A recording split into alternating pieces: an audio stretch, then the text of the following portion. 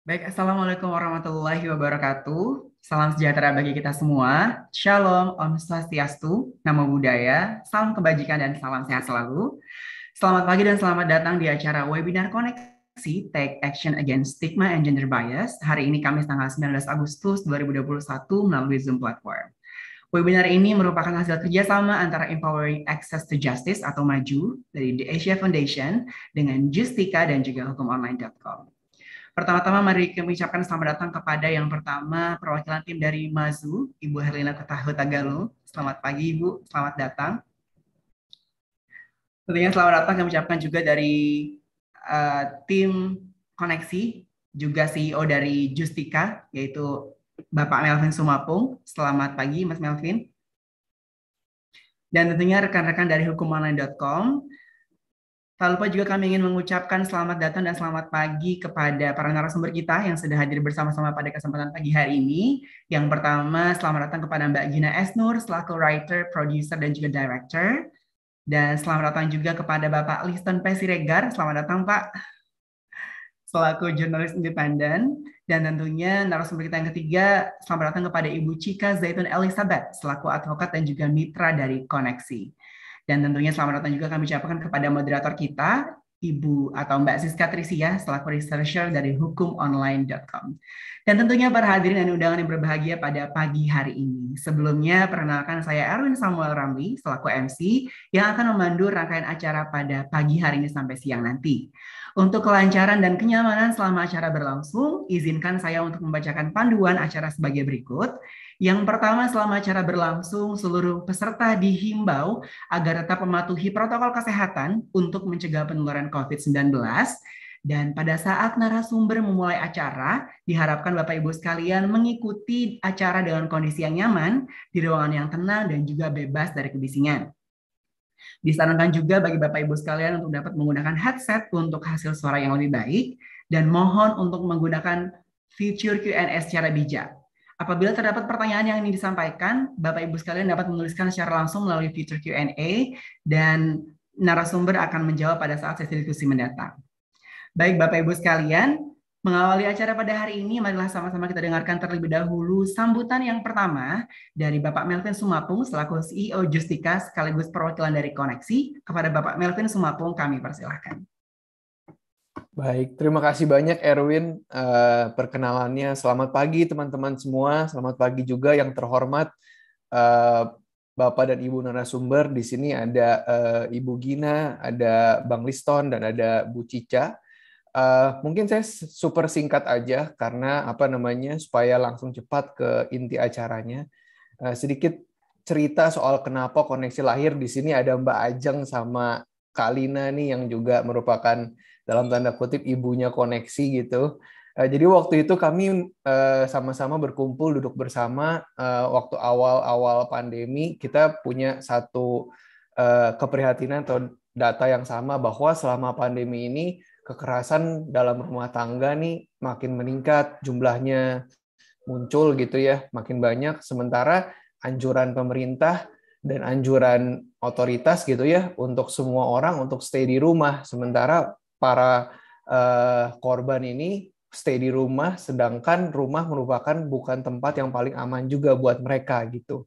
Sedangkan untuk pergi ke tempat-tempat misalnya LBH atau di mana pun mereka butuh bantuan kantor polisi dan lain sebagainya sangat terbatas dengan adanya pandemi gitu. Dan uh, LBH yang ada yang membantu ini kapasitasnya juga terbatas juga kan. Makanya kami mencoba buat uh, mempertemukan lah dengan berbagai macam cara dengan teknologi untuk uh, para advokat yang memiliki seperti Bu Cica yang memiliki niat dan uh, keahlian juga untuk ikutan bantu untuk membantu teman-teman yang ada di uh, ya atau punya masalah mengenai kekerasan berbasis gender. Nah sampai sekarang sejak satu setengah tahun belakangan gitu ya satu tahun lah ya itu sudah ada 1.178 orang yang mengunjungi koneksi lalu sekitar 76 konsultasi atau chatting sudah diberikan rangingnya juga luas gitu ya dari kekerasan fisik kekerasan psikis kekerasan dalam hubungan berpacaran, suami istri maupun kekerasan dalam keluarga inti gitu. tersebar juga penggunanya di 21 kota dari kota-kota besar Jakarta, Surabaya, Jogja, tapi juga Balikpapan dan juga uh, warga negara Indonesia yang pernah mengalami kekerasan tapi sekarang tinggal di luar negeri. Ada juga yang dari Jepang dan dari Vietnam juga gitu.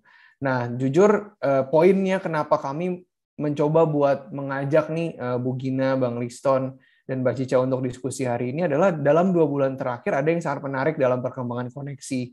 Saat kami dibantu di sosial media, banyak key opinion leader atau influencer atau siapa pun yang merupakan sebenarnya orang yang banyak dalam tanda kutip didengar oleh millennials dan apa namanya ya uh, kaum native digital gitu ya itu ikutan bantu nyebarin dalam dua bulan ini makin banyak banget yang mau menggunakan dan uh, terbantu oleh koneksi. Jadi kami merasa bahwa memang di sini sosial media atau digital landscape gitu ya memang jadi tempat curhat yang sangat efektif, orang-orang jadi berani berbicara, ngobrol, dan juga utamanya jadi sumber informasi paling awal buat banyak orang. Makanya kami ingin mencoba buat mengumpulkan para narasumber di sini untuk semakin menggali nih bagaimana media digital dan budaya populer bisa membuat uh, kaum milenial dan kaum kaum yang uh, native digital ini bisa take action against violence against gender mungkin itu aja dari saya. Terima kasih banyak Erwin dan terutama terima kasih juga buat narasumber dan TAF program maju sehingga ini bisa diselenggarakan dan mudah-mudahan bisa jadi pembelajaran buat kita bersama. Terima kasih. Baik, terima kasih kepada Mas Nafis Sumapung yang telah menyampaikan sambutannya. Luar biasa sekali ternyata uh, cerita di balik pendirian website koneksi ini begitu menarik. Jadi semoga Bapak Ibu sekalian dan teman-teman peserta dapat memanfaatkan website koneksi tersebut dengan maksimal mungkin. Baik Bapak Ibu sekalian, selanjutnya kita akan dengarkan bersama-sama sambutan dari perwakilan Mazu Desya Foundation yang akan sekaligus membuka rangkaian acara webinar kita pada pagi hari ini. Langsung saja kami persilahkan kepada Ibu Herlina Tagalung selaku program officer Mazu untuk menyampaikan sambutannya. Dipersilahkan. Selamat pagi, terima kasih uh, Erwin. Uh, selamat pagi teman-teman semua. Uh, selamat pagi buat para narasumber dan moderator. Ada Bang Liston, Mbak Gina, uh, Mbak Cica, uh, dan terlebih untuk teman-teman semua ya, mau pagi-pagi uh, berkumpul nih di sini untuk kita berdiskusi. Perkenalkan, saya Herlina, panggilannya Lina dari Maju. Maju itu singkatan dari Empowering Access to Justice Uh, seperti namanya, proyek ini tujuannya meningkatkan akses keadilan untuk khususnya ada empat nih uh, kelompok sasaran maju, yaitu masyarakat adat, uh, minoritas etnis dan agama, uh, perempuan rentan dan termarginalkan, dan uh, kelompok LGBTI. Nah, kegiatan kita uh, pada hari ini khususnya terkait dengan uh, isu kelompok perempuan uh, dalam kegiatan ini uh, untuk menjawab salah satu uh, tujuan maju yaitu meningkatkan uh, kesadaran publik tentang salah satunya kekerasan berbasis gender. Nah, dalam diskusi pagi ini uh, dengan informasi yang akan kita dapatkan dari para narasumber dan juga para teman-teman uh, semua, uh, kita berharap kita jadi mampu mengenali apa itu kekerasan berbasis gender ketika kita mampu mengenalinya, ketika kita menemukannya, teman-teman tahu apa yang harus dilakukan. Salah satunya di sini ada uh, koneksi yang seperti sudah dijelaskan oleh uh, Melvin. Nah, tanpa berpanjang lebar lagi, uh, saya mengucapkan selamat berdiskusi kepada teman-teman. Uh, segala sharing, uh, pengetahuan, pertanyaan Eh, silahkan untuk bebas uh, bertanya, bebas memberikan komentar. Begitu. Selamat pagi dan selamat berdiskusi teman-teman. Baik, terima kasih kepada Mbak Herina Kota Galung. Kita biasa manggil Kak Ina ya, Kak. Baik, terima kasih atas sambutannya. Sebelum kita mulai ke acara inti yaitu diskusi dengan para narasumber, mohon berkenan kepada seluruh hadirin dan tamu undangan khususnya narasumber dan juga uh, para panelis untuk berkenan menyalakan kamera karena kita akan melakukan foto bersama mengawali rangkaian acara pada pagi hari ini. Baik, nanti akan dibantu oleh tim dari panitia. Saya akan hitung selama dua kali untuk uh, screenshot foto bersama pada pagi hari ini. Baik, sudah terlihat semua. Saya hitung untuk yang pertama, satu, dua, tiga. Ya, satu kali lagi. Satu, dua, tiga. Baik, terima kasih sekali lagi atas waktunya di pagi hari ini, Kak Lina dan juga Mas Melvin. Dan selanjutnya, tibalah kita ke acara yang kita tunggu-tunggu. Sudah ada bersama-sama kita tiga narasumber kita untuk diskusi bersama-sama mengenai Tech Action Against Stigma and Gender Bias. Dan tentunya pada kesempatan pagi hari ini untuk diskusi akan dimoderatori langsung oleh rekan kita Mbak Siska Trisia selaku Legal Researcher dari hukumonline.com. Kepada Mbak Siska dipersilahkan. Baik, terima kasih Mas Erwin atas uh, pembukaan yang luar biasa. Assalamualaikum warahmatullahi wabarakatuh. Selamat pagi rekan-rekan sekalian. Selamat pagi Mas Melvin, Mbak Lina, kemudian uh, juga para narasumber yang luar biasa yang sudah hadir bersama kita. Dan tentunya kepada para peserta yang sudah hadir di ruangan Zoom kita dan juga uh, kanal YouTube uh, justika.com. Uh, baik, uh, rekan-rekan sekalian, untuk memulai diskusi kita pada pagi hari ini, uh, kalau kita berbicara tentang stigma dan juga bias gender yang terjadi di masyarakat hingga hari ini, mungkin uh, kita bisa sedikit merefleksi ke jauh ke belakang sebelum hari ini. Ya, misalnya pada tahun uh, 1975 itu uh, di mana the United Nations Decade for Women itu pernah menyatakan bahwa media massa dapat menjadi kunci uh, dalam meningkatkan kesetaraan gender yang ada di masyarakat. Namun, hingga hari ini bisa kita lihat sama-sama juga, uh, media massa juga bisa uh, menjadi uh, penyebab tumbuh suburnya stigma dan bias gender itu sendiri di dalam masyarakat. Nah, oleh sebab itu, teman-teman sekalian, uh, pada hari ini kita sudah kedatangan tiga narasumber yang luar biasa, yang tentunya dengan pengalaman yang juga luar biasa, yang nantinya bisa sharing kepada kita semua, sehingga kita sebagai anak muda uh, tahu langkah apa yang bisa kita lakukan untuk melawan stigma dan bias gender yang terjadi di masyarakat itu sendiri. Nah, uh, tak kenal maka tak sayang, maka izinkan saya memperkenalkan tiga narasumber luar biasa kita pada pagi hari ini. Yang pertama itu ada Mbak Gina Aisnur. Uh, selamat pagi Mbak Gina. Selamat pagi semua. Selamat pagi Mbak Siska. Uh, Mbak Gina ini merupakan uh, penulis skenario, sutradara, produser, serta co-founder dan juga head of IP Inisiatif Wahana Kreator Nusantara. Beberapa uh, karya beliau tentunya sudah tidak asing lagi bagi teman-teman sekalian, yaitu uh, beberapa film box office yang sudah diputar di Indonesia seperti Habibi Ainun, Keluarga Cemara, kemudian Dua Garis Biru, dan yang terbaru kemarin ada Ali dan uh, Ratu-Ratu Queens. Dan uh, dengan berbagai prestasi yang sudah ditorehkan oleh Mbak Gina, pada tahun 2019, Mbak Gina meraih dua piala citra uh, sekaligus pada Festival Film Indonesia tahun 2019. Nah, pada hari ini, uh, Mbak Gina nanti akan sharing sama, uh, kepada kita semua tentang bagaimana cara uh, menginisiasi dan juga meningkatkan kesat, uh, kesadaran tentang kesetaraan gender uh, melalui karya nyata yang nanti bisa dilakukan oleh uh, anak muda begitu ya. Dan selanjutnya ada pembicara kita yang kedua ada Mas Liston P. Siregar. Selamat pagi Mas Liston. Pagi, pagi, pagi. Oke, Mas Liston ini merupakan uh, alumni komunikasi dari Universitas uh, Diponegoro. Uh, beliau sudah aktif menjadi wartawan sejak masih duduk di bangku mahasiswa Kemudian beliau pernah berkarir di uh, Tempo dan juga BBC Indonesia dan juga beliau adalah pendiri dari Aliansi Jurnalis Indonesia. Sekarang beliau merupakan editor lepas dan juga aktif uh, mengembangkan beberapa situs yakni ceritanet.com dan juga kanal YouTube Kontemplasi. Nah, nanti Mas Liston akan sharing sama kita terkait dengan pengaruh pemberitaan yang benar untuk meningkatkan kesetaraan gender sehingga mengurangi kekerasan terhadap perempuan yang terjadi di masyarakat hingga hari ini.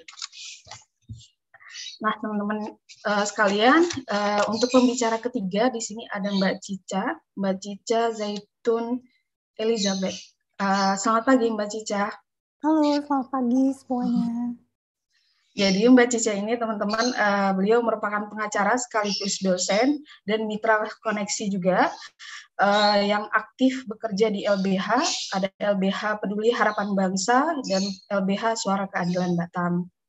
Uh, beliau juga uh, aktif di Komite Pendidikan dan Pelatihan Peradi Suara Advokat Indonesia Batam, kemudian juga Wakil Bendahara Asosiasi Advokat Indonesia di wilayah Batam, dan tentunya juga sebagai Justice Makers dari IBG atau NGO internasional yang berfokus pada uh, pendampingan terhadap perempuan yang berhadapan dengan hukum. Nah, uh, rekan-rekan sekalian, um, nanti Mbak Cica akan sharing kepada kita tentang bagaimana penanganan yang tepat kepada uh, korban kekerasan uh, yang sering dialami oleh perempuan gitu ya. Langkah-langkah apa saja yang bisa kita lakukan sebagai uh, upaya untuk mengantisipasi kekerasan tersebut uh, yang terjadi di masyarakat. Nah, uh, seperti yang uh, diketahui juga bahwa diskusi kita ini nanti teman-teman akan berlangsung selama lebih kurang tiga jam dari jam 9 hingga nanti jam 12 siang. Uh, akan ada pemaparan materi dari para narasumber kita uh, sekitar 20 sampai 30 menit dan sisanya sekitar 50 menit itu ada sesi tanya jawab. Nah, oleh sebab itu saya persilahkan kepada rekan-rekan sekalian untuk menyimak dan memperhatikan dengan seksama. Dan ketika sudah ada pertanyaan begitu yang muncul di dalam pikiran teman-teman, silahkan ketikkan di kolom Q&A. Uh, nanti saya akan bantu untuk bacakan dan uh, jangan lupa sertakan nama, asal lembaga, dan juga kepada siapa teman-teman ingin bertanya. Uh, mungkin sekian, uh, kita bisa masuk ke agenda inti dari uh, acara kita pada pagi hari ini. Nanti akan ada pemaparan pertama oleh Mbak Gina Esnur. Mbak Gina udah siap? Siap. Uh, ntar saya share screen ya buat. Oh, iya. Oke. Okay. Uh, eh, langsung aja. Ya, silakan Mbak Gina.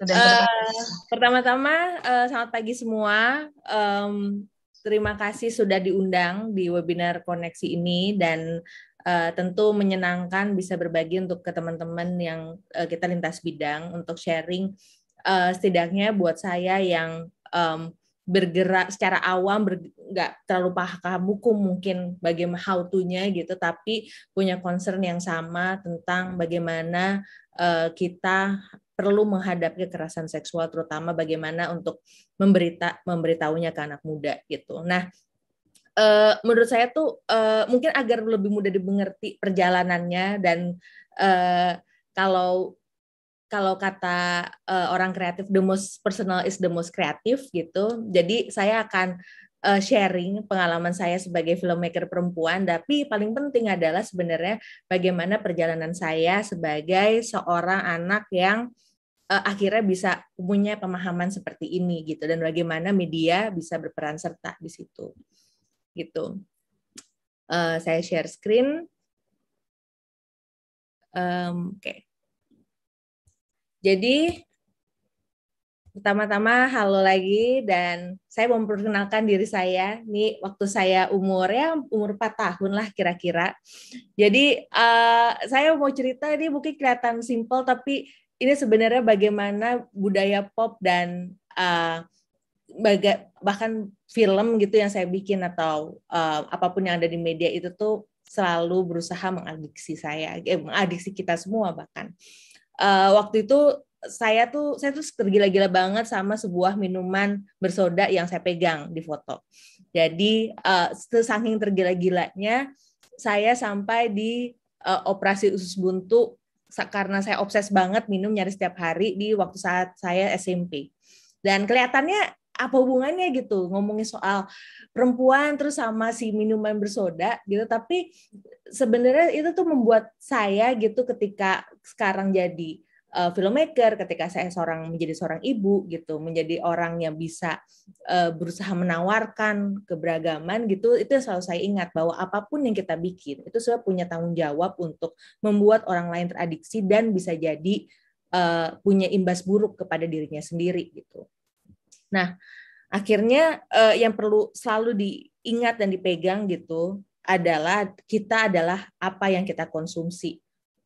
Nah, ketika kita bicara soal kitab adalah apa yang kita konsumsi, tentu ada kesadaran baru soal uh, apa aja yang kita serap dan apa yang yang orang lain serap ketika kita berusaha untuk meraih mereka, merangkul mereka untuk punya concern yang sama terhadap isu yang akan kita buat gitu.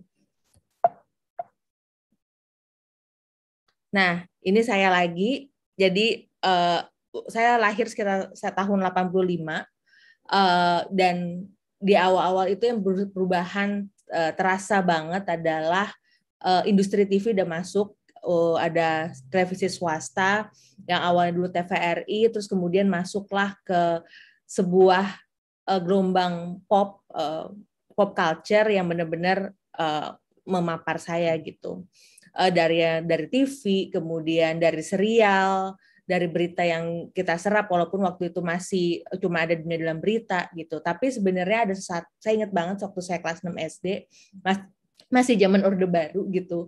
Pertama kali yang menerpa saya yang saya saya ingat banget saya berhenti di depan TV kemudian saya rasa wow apaan nih? Adalah ketika ada lima orang perempuan Spice Girls gitu dan dia mereka bilang girl power umur saya berarti um, sekitar 11-12 tahun dan nggak pernah kebayang apa sih tuh girl power gitu. Nggak pernah ada satupun perempuan dalam hidup saya apalagi laki-laki yang pernah bilang girl power. Nah ketika ada lima perempuan dari Inggris kemudian mereka bikin um, video klip judul uh, dengan lagu Wannabe gitu dengan lirik yang uh, penuh statement yang mungkin kelihatan buat kita apa sih gitu saat ini tapi buat anak SD saat itu yang ngerasa keren banget ketika dia bilang uh, kalau lo mau uh, saya artiin gitu kalau lo mau jadi temen gue lo harus uh, if you're my lover kalau mau jadi pacar gue you have to be uh, engage sama teman-teman gue gitu harus berteman sama teman-teman saya.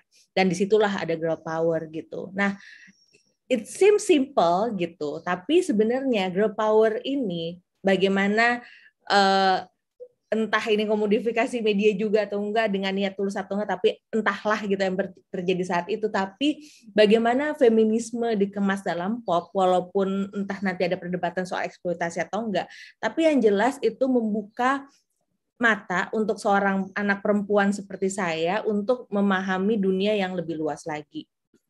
Nah, saya itu adalah uh, seperti juga butuh remaja pasti butuh konten, butuh media gitu. Waktu uh, saya remaja dan ini adalah isu uh, ada titik krusial mau di zaman 90-an, 2000-an atau 2020-an kayak sekarang ketika remaja melihat representasi dirinya di uh, di layar gitu. Dan dan ini adalah ketika ngomong soal tahap perkembangan adalah tahap perkembangan uh, ngomongin mencari identitas. Ketika baca uh, majalah perempuan gitu tentu akhirnya mencari-cari apa sih yang yang seperti saya gitu. Dari saya baca uh, kawanku yang yang headline-nya jelas gitu, ngintip pikiran cowok yang oke okay, cowok tuh jadi sesuatu yang penting banget. Terus cowok tapi satu sisi lagi ada tetap mereka ngasih uh, perimbangan di medianya dengan wah ada cewek ambisius, kemudian dengan Spice Girls lagi gitu. Tapi again, isu soal cowok tuh terus menerus di bahwa cowok ada sesuatu yang penting banget untuk perempuan itu terus menerus dimasukkan. Nah, tapi cowok seperti apa akhirnya tuh ya karena saya suka banget baca gitu dari majalah kemudian sampai uh, di balik uh, sampo di belakang sampo aja saya baca gitu akhirnya tuh bawa saya ke banyak sekali bahan bacaan. Salah satunya adalah Anida. Ketika saya ingat banget uh, Anida ini adalah majalah remaja muslimah yang konsisten sekali. Uh, selalu saya kenapa saya beli? Awalnya karena saya uh, suka sekali baca cerpen gitu di di mana pun gitu. Dan Anida ini banyak banget mengeluarkan cerpen dan termasuk juga adalah hubungan percintaan yang ideal laki-laki sama hubungan sama perempuan hubungannya harus seperti apa dan lain-lain gitu. Tapi untungnya ada Gramedia. Ketika ada Gramedia, kita mulai mengeksplor ada apa. Ada ke ada pemahaman kita saya gitu punya di back of mind bahwa ada girl power sampai kayak ketika jalan-jalan uh, seiring perjalanan akhirnya ketemulah di Gramedia ini jurnal perempuan yang yang walaupun nggak ngerti-ngerti banget gitu, tapi at least ketika seorang remaja dikasih opsi dalam hidupnya untuk uh, membaca uh, dan mengonsumsi banyak hal, maka dia akan mungkin kemungkinan gitu akan menemukan Eh, sumber-sumber lain untuk mencerahkan pemikiran dia gitu. Dan akhirnya barulah ketemu Virginia Woolf dan kemudian ada buku-bukunya baca dan kemudian sampai akhirnya salah satu titik momentumnya adalah ketika baca Nawal El Sadawi gitu. Nah, tapi ini buku gitu. Ketika kita ngomongin buku, kita akan berhadapan sama harga buku yang mahal atau kalau misalnya majalah sekarang juga nggak uh, terlalu lagi banyak yang nerbitin, majalah-majalah juga masuk ke online. Kemudian ketika kita ngomongin soal angka anak orang-orang yang baca nggak juga nggak terlalu tinggi di Indonesia karena again harga buku tersebut gitu. Nah, tapi yang tetap sama adalah bahwa setiap anak sama remaja itu butuh jembatannya untuk menyadari apa itu jadi perempuan, bagaimana dia harus dihargai dan kemudian uh, dan kemudian ke dalam isu-isu spesifik seperti isu kekerasan, kemudian uh, bagaimana dia dengan seksualitasnya, peran gender dan lain-lain gitu. Salah satu yang kenapa saya dari ilmu komunikasi kemudian serius masuk ke dalam dunia film adalah saya ngerasain sekali impact-nya ketika buku mungkin lebih ke personal, tapi ketika bicara soal film, spesifiknya seperti ada apa dengan cinta gitu di tahun 2002 waktu saya SMA menontonnya saya tuh ngerasain banget impactnya tuh bukan cuma ke saya sendiri tapi ke orang-orang di sekitar saya.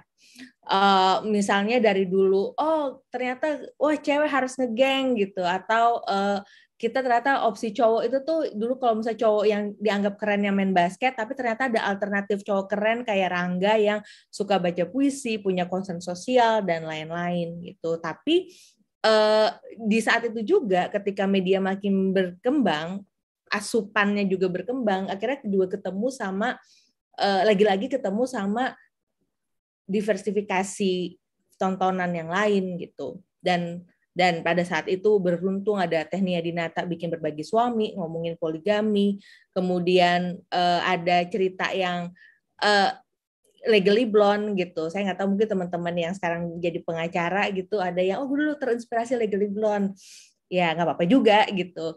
Uh, cerita tentang ada cewek yang diremehkan sampai dia kemudian masuk ke uh, Fakultas Hukum Harvard dan uh, sampai akhirnya ada sebuah film yang amat sangat menarik, judulnya Mean Girls, yang nulis Tina Fey, dibuat berdasarkan buku non fiksi bagaimana perempuan Queen Bee, gitu murid Queen Bee di sekolah, eh, berhadapan dengan eh, punya hubungan sosial seperti apa dan menguliknya diuliknya dengan sangat empatik dan lain-lain.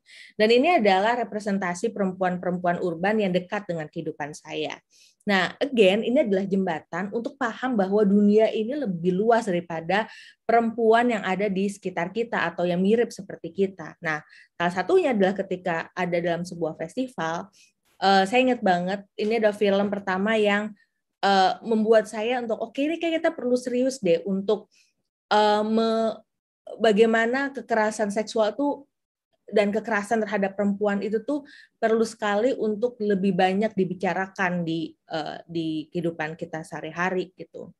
Ini adalah film yang disutradarai dan ditulis sama Dipa Mekta uh, tentang seorang anak uh, yang di India yang jadi janda di, di sekitar umur 12 tahun dan kemudian bagaimana lemahnya perempuan-perempuan yang jadi janda di uh, di tahun itu dan di India pada saat itu.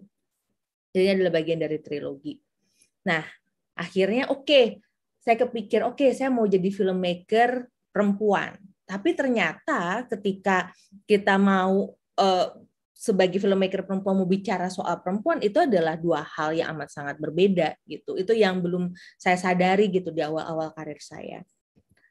Uh, misalnya ketika dulu bikin uh, ayat-ayat cinta tahun 2008 uh, eh, sekitar 2007 2008 adalah uh, saya masih kuliah di UI uh, penulis skenario yang lain adalah uh, suami saya sendiri Salman Aristo. Tapi di situ kita uh, bekerja sama dengan Mas Hanung kemudian ada produser dari MD dan ini kita mengadaptasi sebuah um, novel Islami gitu. Yang kita pikir uh, oke okay, menarik karena uh, kami adalah orang Islam dan bagaimana uh, menceritakannya jenis bentuk cerita Islam yang menarik mungkin asik nih ya kalau diadaptasi gitu terlibat jadi bagian dalamnya.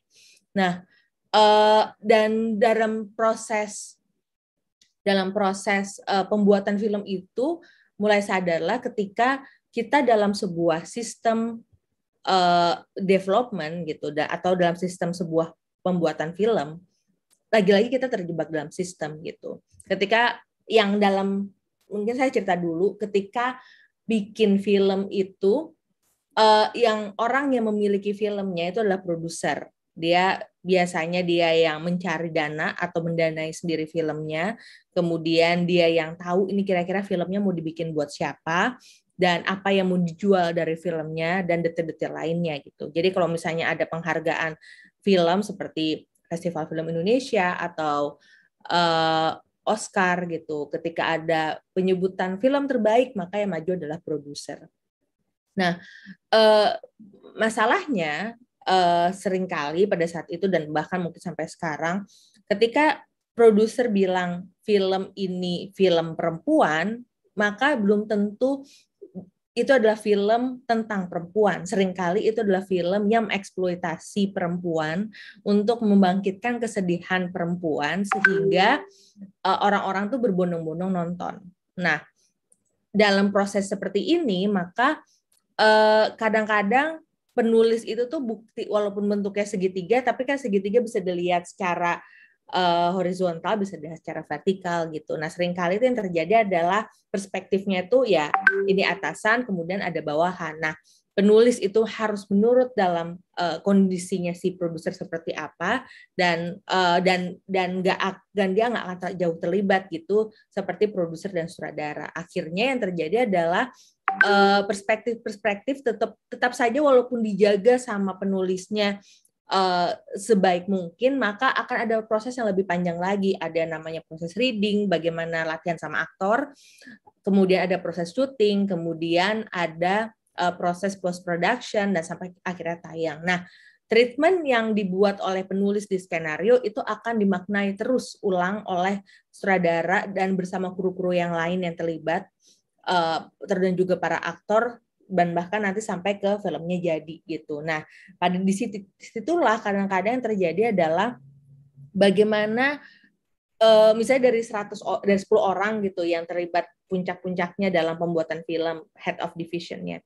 Misalnya dua yang concern, tapi percuma ketika ada delapan lagi tuh yang tidak punya concern yang sama soal apa itu kekerasan terhadap perempuan atau bagaimana berempati terhadap karakter perempuannya. Dan akhirnya ini membuat uh, saya kenapa salah satunya adalah membentuk oh, wahana kreator gitu agar kita punya sistem yang bisa uh, makin tajam apa yang mau kita buat. Jadi sistem selalu mempengaruhi cerita apa yang dibuat. Ya bentuknya kurang lebih mungkin seperti uh, teman-teman di media punya kebijakan redaksi yang mempengaruhi bagaimana cerita di, uh, berita disampaikan atau apa itu headline-nya, uh, angle-nya seperti apa dan sebagainya kurang lebih itu yang terjadi dalam sistem ini uh, baik dalam proses development atau memproduksi ketika ingin membuat sebuah cerita. Nah, akhirnya lagi-lagi dengan sistemnya seperti itu bisa sebuah sebuah tema yang sama gitu ketika ngomongin soal poligami yang uh, yang satu bisa ya terserah lah ada orang yang bisa percaya bahwa poligami itu bisa uh, boleh dilakukan gitu dan bahkan harus gitu. Tapi kan yang tidak yang perlu diulik lagi adalah apakah ada korban yang um, ada yang menjadi korban dalam hubungan seperti itu gitu. Dan akhirnya tema tersebut atau topik apa yang kita pilih itu tuh uh, bisa dieksplor atau dieksploitasi itu adalah pilihan masing-masing si uh, siapa produser dan siapa orang yang mengelilinginya.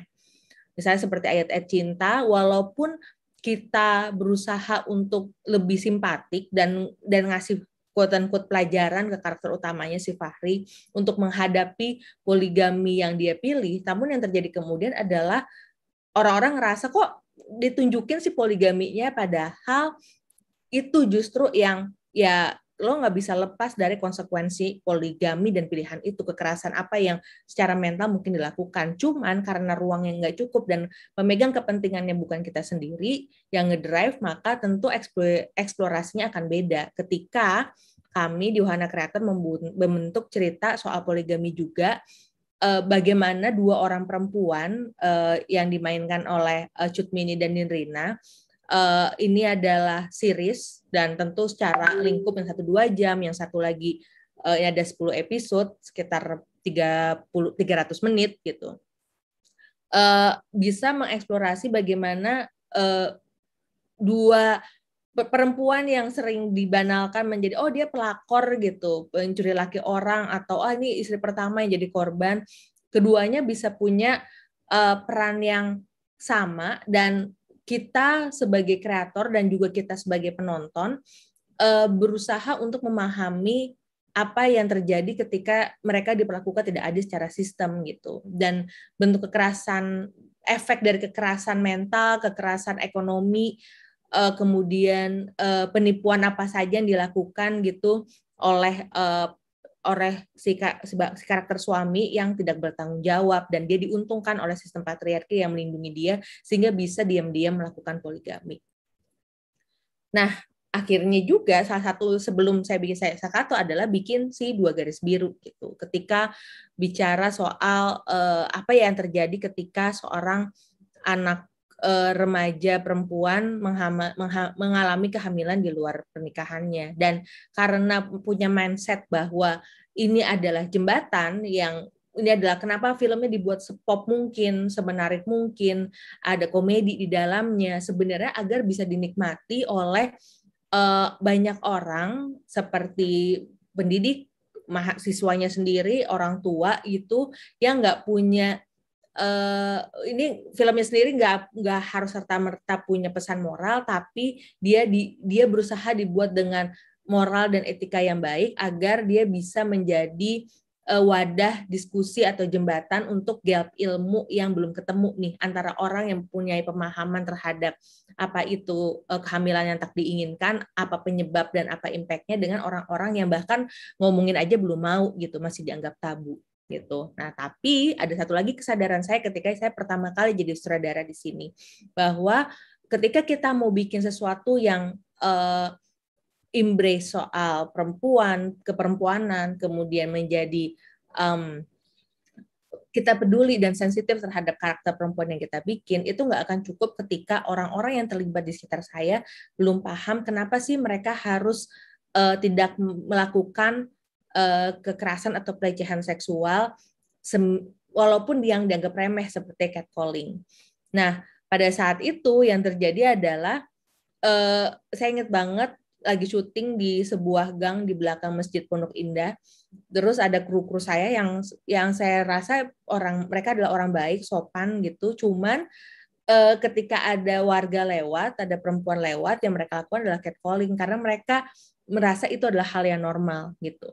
Nah, yang dilakukan, yang saya lakukan pada saat itu adalah berus manggil mereka, suruh ngejar mbaknya untuk bilang minta maaf dan itu nggak boleh catcalling. Tapi kan nggak mungkin setiap saat, setiap waktu kita harus menjaga ratusan kru yang uh, yang yang, yang kalaupun itu akhirnya menjadi budaya, akhirnya juga punya efek ke terutama kepada aktor dan terutama para aktor laki-lakinya untuk ngerasa ya gue boleh dong melakukan ini toh orang-orang di belakang gue mensupport gue untuk melakukan hal yang semau gue gitu. Nah, yang dilakukan lagi-lagi adalah dengan mindset bahwa kita harus membuat jembatan di uh, ketika bekerja sama dengan orang yang punya background yang berbeda-beda gitu, yang mungkin dulu nggak kepapar media atau nggak nggak punya didikan orang tua seperti saya adalah bagaimana membuat jembatan untuk sistem yang lebih ramah terhadap perempuan. Nah, akhirnya salah satu cara yang dipilih adalah bagaimana membuat support system kepada siapa pun yang terlibat dalam produksi tersebut agar semua merasa nyaman dan aman. Yang pertama adalah kami membuat uh, fakta integritas untuk semua yang terlibat.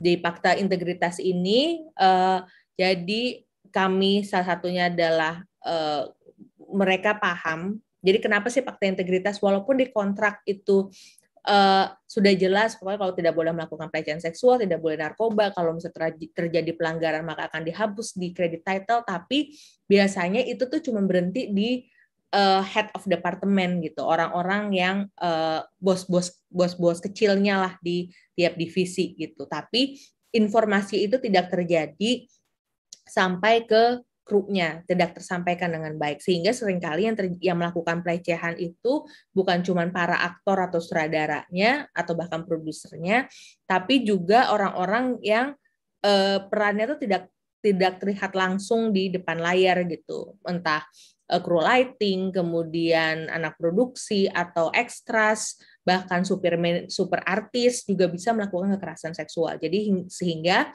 karena banyak sekali orang, maka kita perlu melakukan uh, kita perlu membuat penyamarataan, salah satunya dengan fakta integritas yang ditandatangani oleh setiap orang yang terlibat. Nah, kemudian adalah edukasi juga gitu, bahwa apa yang kita harus sama-sama duduk gitu dan punya standpoint yang sama terhadap apa itu pelecehan seksual, kemudian kemudian apa yang penyebabnya dan apa aja jenisnya dan uh, dan dan ada dengan cuman itu kita berusaha untuk memangkas uh, proses pengaduan langsung ke titik yang tertinggi gitu. Jadi ini adalah partner saya di Wahana Kreator Ame uh, dia um, kita menaruh nomor teleponnya di infografis ini sehingga orang-orang tuh paham harus menghubungi siapa dan jajarannya tinggi dan orang tuh tahu bahwa adalah perempuan yang bisa dipercaya dan bisa melakukan tindakan ketika terjadi keluhan. Yang paling uh, menyenangkan adalah tidak ada yang mengeluh dalam proses ini gitu dan yang berarti mudah-mudahan tidak terjadi pelecehan karena ini benar-benar ditempel di setiap sudut uh, produksi tapi yang sedih adalah dan sekaligus miris adalah ketika ada yang orang non di luar produksi warga sekitar yang berpikir kalau kalau melakukan ada orang melakukan pelecehan seksual harus menghubungi ini. Berarti kan ada gap tidak ada jembatan itu lagi gitu. Ketika orang tuh harus ngadu ke mana informasinya tuh belum jelas. Nah eh, tapi ini adalah salah satu metode yang kita lakukan. Nah akhirnya eh, kita sekarang berhadapan dengan ruang lingkup yang beda lagi gitu. Ketika eh, remaja-remaja umur 11 12 tahun yang kayak dulu tuh uh, saya langsung berhadapan sama oh si power uh, apa girl power cuman dari satu media tapi sekarang mereka punya bisa diinfluence oleh banyak orang dalam satu waktu yang nyaris bersamaan di uh, dengan gadget mereka dengan uh, sosial media mereka gitu. Dan lebih diperparah lagi dengan uh, algoritma yang ketika mereka milih A yang muncul cuma A aja di dalam sistemnya. Nah, uh, dan menurut saya di situlah uh, bagaimana kita menawarkan keberagaman baik di media gitu, di tayangan pop kita ataupun di berita-berita itu salah satu yang bisa membantu uh, para remaja ini, anak muda ini untuk keluar dari bubble mereka. Sing, kembali lagi dengan mindset bahwa kita semua itu bisa jadi bukan kita ya mungkin ada orang lain yang sama dulu seperti kita yang nggak tahu apa definisi dari hal-hal yang kita idealkan gitu. Nah pada saat itu di mana pun bidang kita, kita menurut saya kita perlu mencari jembatan-jembatan apa saja yang perlu kita bangun dan kita maksimalkan agar uh, kita pun kita semua bisa hidup di sistem yang lebih aman dan nyaman, terutama untuk uh, para perempuan dan uh, teman-teman di uh, lingkup yang uh, dianggap minoritas di Indonesia. Gitu sih. Terima kasih semua. Sekian share saya. Baik, terima kasih Mbak Gina. Luar biasa sekali pengalaman Mbak Gina uh, memberikan kita semacam stimulus bagaimana hal-hal kecil itu akhirnya bisa menginspirasi seseorang untuk kemudian berkarya di masa depan. Dan juga tadi juga Mbak Gina mention tentang adanya gap antara uh, masyarakat dan juga kru dari Mbak Gina sendiri. Ya mungkin harapannya dengan adanya forum ini gap uh, atau kurangnya informasi bagi masyarakat ke mana mereka harus mengadu ketika menghadapi atau menemukan pelecehan seksual itu salah satunya bisa dengan platform uh, koneksi itu sendiri. Nah, Uh, mungkin uh, selanjutnya kita akan masuk kepada pemaparan dari uh, Bang Liston. Uh, beliau nanti akan memaparkan tentang uh, bagaimana sih media juga berpengaruh dalam membentuk stigma dan bias gender di masyarakat sehingga saat kita mengkonsumsi berita dan lain sebagainya kita lebih bisa lebih cerdas gitu ya. Uh, Bang Liston sudah siap, Bang? Ya. Aku minta okay, share bang. juga ya. Oke, silakan Bang. Waktu dan tempat dipersilahkan.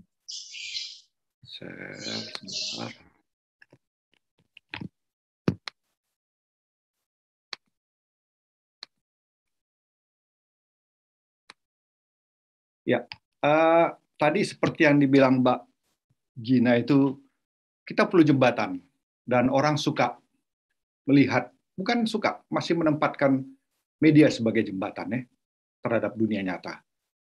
Tapi mungkin ada perubahan-perubahan baru yang mungkin membuatnya bukan sebagai jembatan lagi, tapi itulah yang akan kita kita kaji. Mungkin juga kalian punya pendapat kawan-kawan lain yang uh, sudah apa ya, yang sudah mumpuni dalam soal kesetaraan gender maupun yang masih dalam proses. Saya mungkin masih dalam proses karena saya adalah produk dari budaya patriarki ya. Saya uh, lahir di Medan, sekolah di Semarang, kemudian bekerja di Jakarta dan di di London sekarang. Uh, itu proses yang belum selesai sampai sekarang menurut saya ya. Eh, bukan berarti saya uh, tidak mau berubah, tapi berubah itu proses yang panjang sekali. Nah, uh, saya pernah jadi jurnalis di Tempo dan BBC Indonesia, dan keduanya punya prinsip jurnalistik yang tegas lah ya. Uh, bahwa dia menyuguhkan berita dan informasi yang tidak memihak untuk membantu masyarakat umum memahami dan terlibat dengan lingkungan sekitarnya. Jadi nggak ada lagi sebenarnya masalah stigma, masalah prasangka atau diskriminasi di Tempo dan BBC. Paling nggak masa kerja saya dulu ya, ketat dia dengan objektivitas, faktual, kemudian bukan cuma berdasarkan fakta, tapi juga akurat. Apa faktanya itu? dan seimbang karena kepentingannya luas. Keduanya juga punya pembaca dan pendengar setia. Tempo itu dulu pernah dia dapat atau mungkin lebih ya pelanggannya sekitar 150 ribuan per minggu loh. Jadi kalau harganya 2000 aja satu majalah bisa mereka secara bisnis bagus sekali. Sedangkan BBC Indonesia itu gratis, tapi orang pada masanya itu bisa mendengarkan itu kami punya survei 3 jutaan orang mendengar setiap pagi siarannya to media. Jadi mereka punya orang yang setia membaca, mendengarkannya. Media berkembang, media online. Uh, asumsinya adalah semakin banyak yang mengklik, maka semakin banyak pemasukan. Maka media pun berlomba-lomba meraih pengklik. Dan diperlukanlah clickbait atau umpan balik. Kalau kerennya itu SEO, Search Engine Optimization. Nah, itu kalau kita kalau kalau kita mencari di Google, makanya komputer itu akan mencari, menelusuri semua berita, kemudian menyusun mana yang paling atas. Jadi, oleh karena itu, salah satu unsur terbesar SEO itu adalah judul. Lantas, keterangan foto, dan juga teksnya ditelusuri. Maka, ketika menulis berita, jurnalisnya itu udah mulai mikirin judulnya yang dramatis apa ya? foto yang sensasional gimana ya? Intinya supaya ketika orang mencari di Google itu, maka berita yang kita tulis itu muncul paling atas, dibaca banyak orang, banyak page view, banyak iklan. Saya tidak mengatakan bahwa ini adalah diterapkan oleh semua media online ya, bukan. Tapi umumnya begitulah cara berpikir media online sekarang. Terlepas bahwa dia juga mungkin faktual, akurat atau seimbang ya. Nah, Ditambah lagi semakin cepat, sehingga akurasinya makin berkurang. Kenyataannya belum tentu. Kalau mau sekedar cepat, ya mungkin sekarang Twitter yang lebih cepat ya. Kalau berita-berita ya, orang dari lapangan langsung nge-tweet ya. Dan juga itu kalau kita pakai iklan Google, itu 68% itu yang dibagi, 32% itu buat Google. Itulah kira-kiranya. Mungkin masih masih seperti itu juga ya. Kalau berlangganan, itu semuanya buat si media online-nya, media situsnya itu bisnisnya yang mungkin membuat kita semakin sering melihat clickbait, SEO, dan kecepatan itu. Tapi semangatnya clickbait sama SEO. Maka kita temukanlah berita seperti ini. Judulnya Wanita Cantik, Pelakor, Siap Hancurkan Rumah Tangga Tentara Israel, Warga Net Jihad, tapi kurang apa nih berita ini? Coba lihat. Wanita cantik. ya Itu relatif kan. Kemudian pelakor, tadi yang sebut Mbak Jina itu uh, apa perebut laki-laki orang ya. Kayaknya itu kaum pria itu adalah kaum yang baik hati. Dia cuma direbut saja kalau ada terjadi poligami itu atau cerai. Bukan, dia dia nggak salah. Dia itu orang baik-baik gitu loh. Ya, bukan bukan bukan pelakunya dia, tapi korbannya. Kemudian ada lagi kata jihad. Tapi baiklah, berita ini kan mungkin berita yang peristiwanya sendiri nggak terlalu jelas ya. Sekarang kita lihat sebuah peristiwa yang serius. Mabuk sembarangan, gadis cantik ini diperkosa dua pria berbeda saat pulang dari tempat hiburan malam. Sulit rasanya memahami isi kepala jurnalis dan redakturnya ini selain urusan klik. Pertama kita lihat, mabuk sembarangan. Rupanya ada mabuk yang sesuai tata tertib RT RW. Enggak kan? Gadis cantik, itu relatif kecantikan. Pulang dari tempat hiburan malam, apa relevansinya dengan kejahatan itu? Apa memang mereka mau menyimpulkan karena lu pulang malam, karena kau berduga malam, ya diperkosalah gitu loh. Kemudian satu lagi korbannya itu yang terakhir kesimpulan dari korbannya itu menjadi subjek kejahatan, bukan pemerkosanya, korbannya yang menjadi subjeknya. Nggak percaya? Lihat kalimat pertamanya. Makanya jangan mabuk sembarangan seperti yang dialami wanita ini. Disalahkan dia. Media itu menyalahkan korban. Ya kan? Berita ini menempatkan korban sebagai subjek kejahatan, bukan pemerkosanya. Nah, berita ini jahat kepada perempuan. Mungkin istilah saya terlalu keras, ya, tapi saya kira jahat. Seolah-olah menyimpulkan kalau perempuan mabuk sembarangan, maka boleh diperkosa. Sedangkan kalau laki-laki mabuk, dia boleh memperkosa, kayak berita ini. Ya, sama dengan mabuk, tapi yang satu menjadi pelaku, yang satu menjadi korban. Nah, kita lihat lagi berita satu ini. Korban, dia nggak jadi memperkosa, eh nggak menjadi merampok gara-gara pakaian minim. Jadi kalau kalau kita menafsirkan berita ini, ada seorang remaja tadinya mau melakukan kebaikan, merampok. Tapi gara-gara ada pakaian yang seksi, dia jadi memperkosa. Jadi nggak jadi dia melakukan kebaikan. Kira-kira seperti itu kan beritanya kan. Yang satu ini juga, duh pose ratu bulu tangkis Australia ini bikin netizen 62 berpikir aneh-aneh. Ini cara berpikir laki-laki kuno zaman dulu yang menguasai perempuan, yang memiliki otoritas pada perempuan dan mengendalikan perempuan eh sebagai objek hasrat. Di para paragraf pertamanya tertulis seperti ini. Atlet cantik dengan pose aduhai ini. Di paragraf kedua tertulis lagi pose yang dianggap menantang.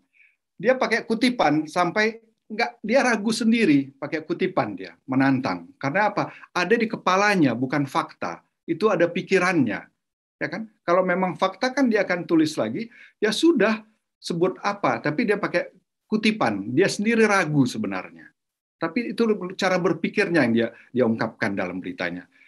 Cilakannya lagi kita sekarang dalam era information overload. Itu dia. Tadi yang dikatakan uh, jembatan itu mungkin kita bukan media tidak selalu jadi jembatan. Mungkin dia bisa menjadi pagar. Kenapa? Kita cenderung menerima informasi dari orang yang kita percaya, orang dalam kelompok kita. Dalam kerangka lebih luas lagi mungkin yang masih terjadi kali ya, orang jadi lebih, suka, maaf nih eh, istilah saya, kelompok cebong, cebong, kelompok kadrun, kadrun. Seperti itu ya kita ya, terjadi perpecahan. Kenapa? Karena kita cenderung berada dalam orang yang percaya dengan kita saja, kelompok kita. Kedua, kita mencari dan mengingat hal-hal yang sesuai dengan apa yang sudah kita ketahui dan pahami. Terjadi penguatan, bukan jembatan keluar dari tempat kita, tapi kita berada dalam sebuah pagar. Ini adalah penelitian dari dua orang ilmuwan Amerika Serikat yang ahli psikologi tentang kognitif, uh, itu Filippo Menser dan Thomas Hills. Dan uh, ada beberapa poinnya, tapi saya kira dua ini yang paling penting buat kita relevan buat media lagi. Nah, satu lagi tadi yang disebut algoritma itu, sekali kita cari perempuan cantik definisi, terkungkunglah kita di situ. Jadi informasi yang banjir ini membuat kita itu lelah mengikuti media online, blogs, video, tweet, WA group. Jadi kita memilih, udahlah kita berada di zona nyaman kita doang, yang sudah puluhan tahun, bahkan ratusan tahun. Ya, kita bukan keluar dari situ. Ada kecenderungan kita malah dikungkung. Nah, harus kita akui peliputan peliputan sejumlah media atas perempuan di Indonesia masih penuh stigma.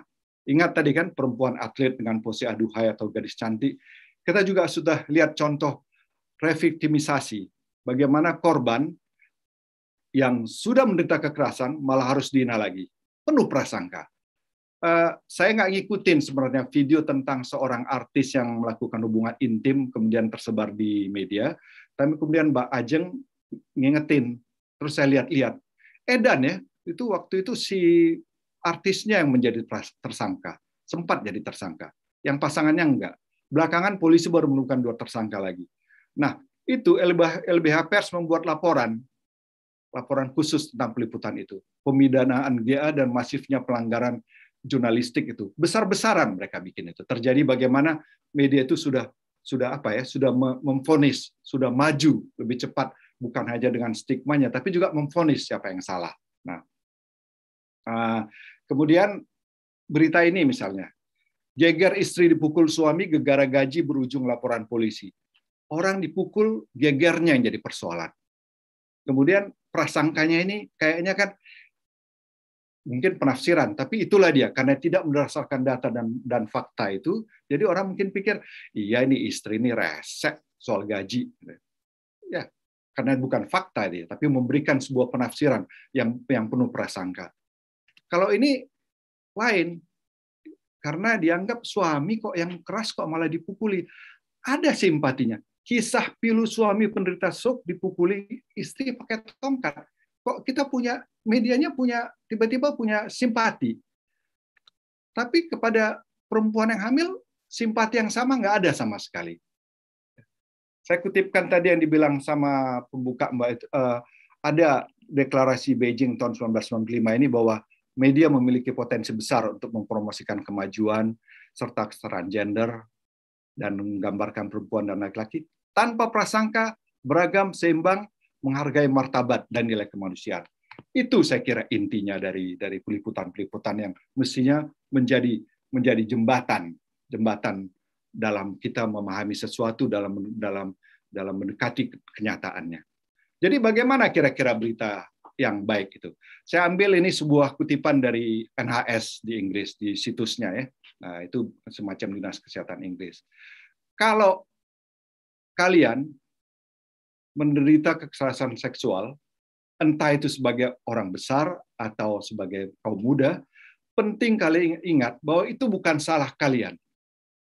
Ya, kekerasan seksual itu kejahatan. Siapa pun yang melakukannya, nggak ada urusan. Itu kejahatan. Jadi mau pelakunya atasan di kantor, teman sekerja, orang mabuk, bapak atau saudara sendiri, pemuka agama, tukang parkir, nggak ada urusan. Siapa pun pelakunya, itu adalah kejahatan. Nah, memang terlepas dari hukum di Indonesia mungkin masih diskriminatif terhadap perempuan, tapi kita pakai pada pada satu titik menganggap itu kejahatan titik dulu, ya kan? Nah, dengan prinsip itulah seperti apa kira-kira peliputan media yang baik? Satu, akuntabilitas sederhana. Pelakunya adalah subjek berita, bukan korbannya. Ya, seorang pria memperkosa seorang perempuan. Jadi pelakunya adalah subjek berita. Kedua, akurasi. Apa faktanya? Jangan gunakan eufemisme. Jadi faktanya itu seorang suami membunuh istri, seorang pria memperkosa perempuan. Itu faktanya. Nggak bisa kita pakai eufemisme.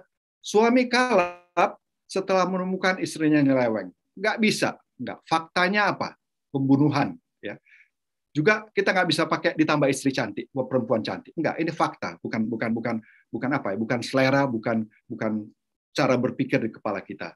Kita bisa bikin fakta bahwa suaminya mungkin membunuh pakai samurai atau mencekek gitu. Juga cenderung media itu sebaiknya menggunakan kalimat aktif dalam kekerasan terhadap perempuan. Kemudian konteks kita bisa jelaskan bahwa kejahatan suami itu memang sudah sering melakukan kejahatan. Satu, dua. Konteksnya juga banyak kasus-kasus seperti ini terjadi.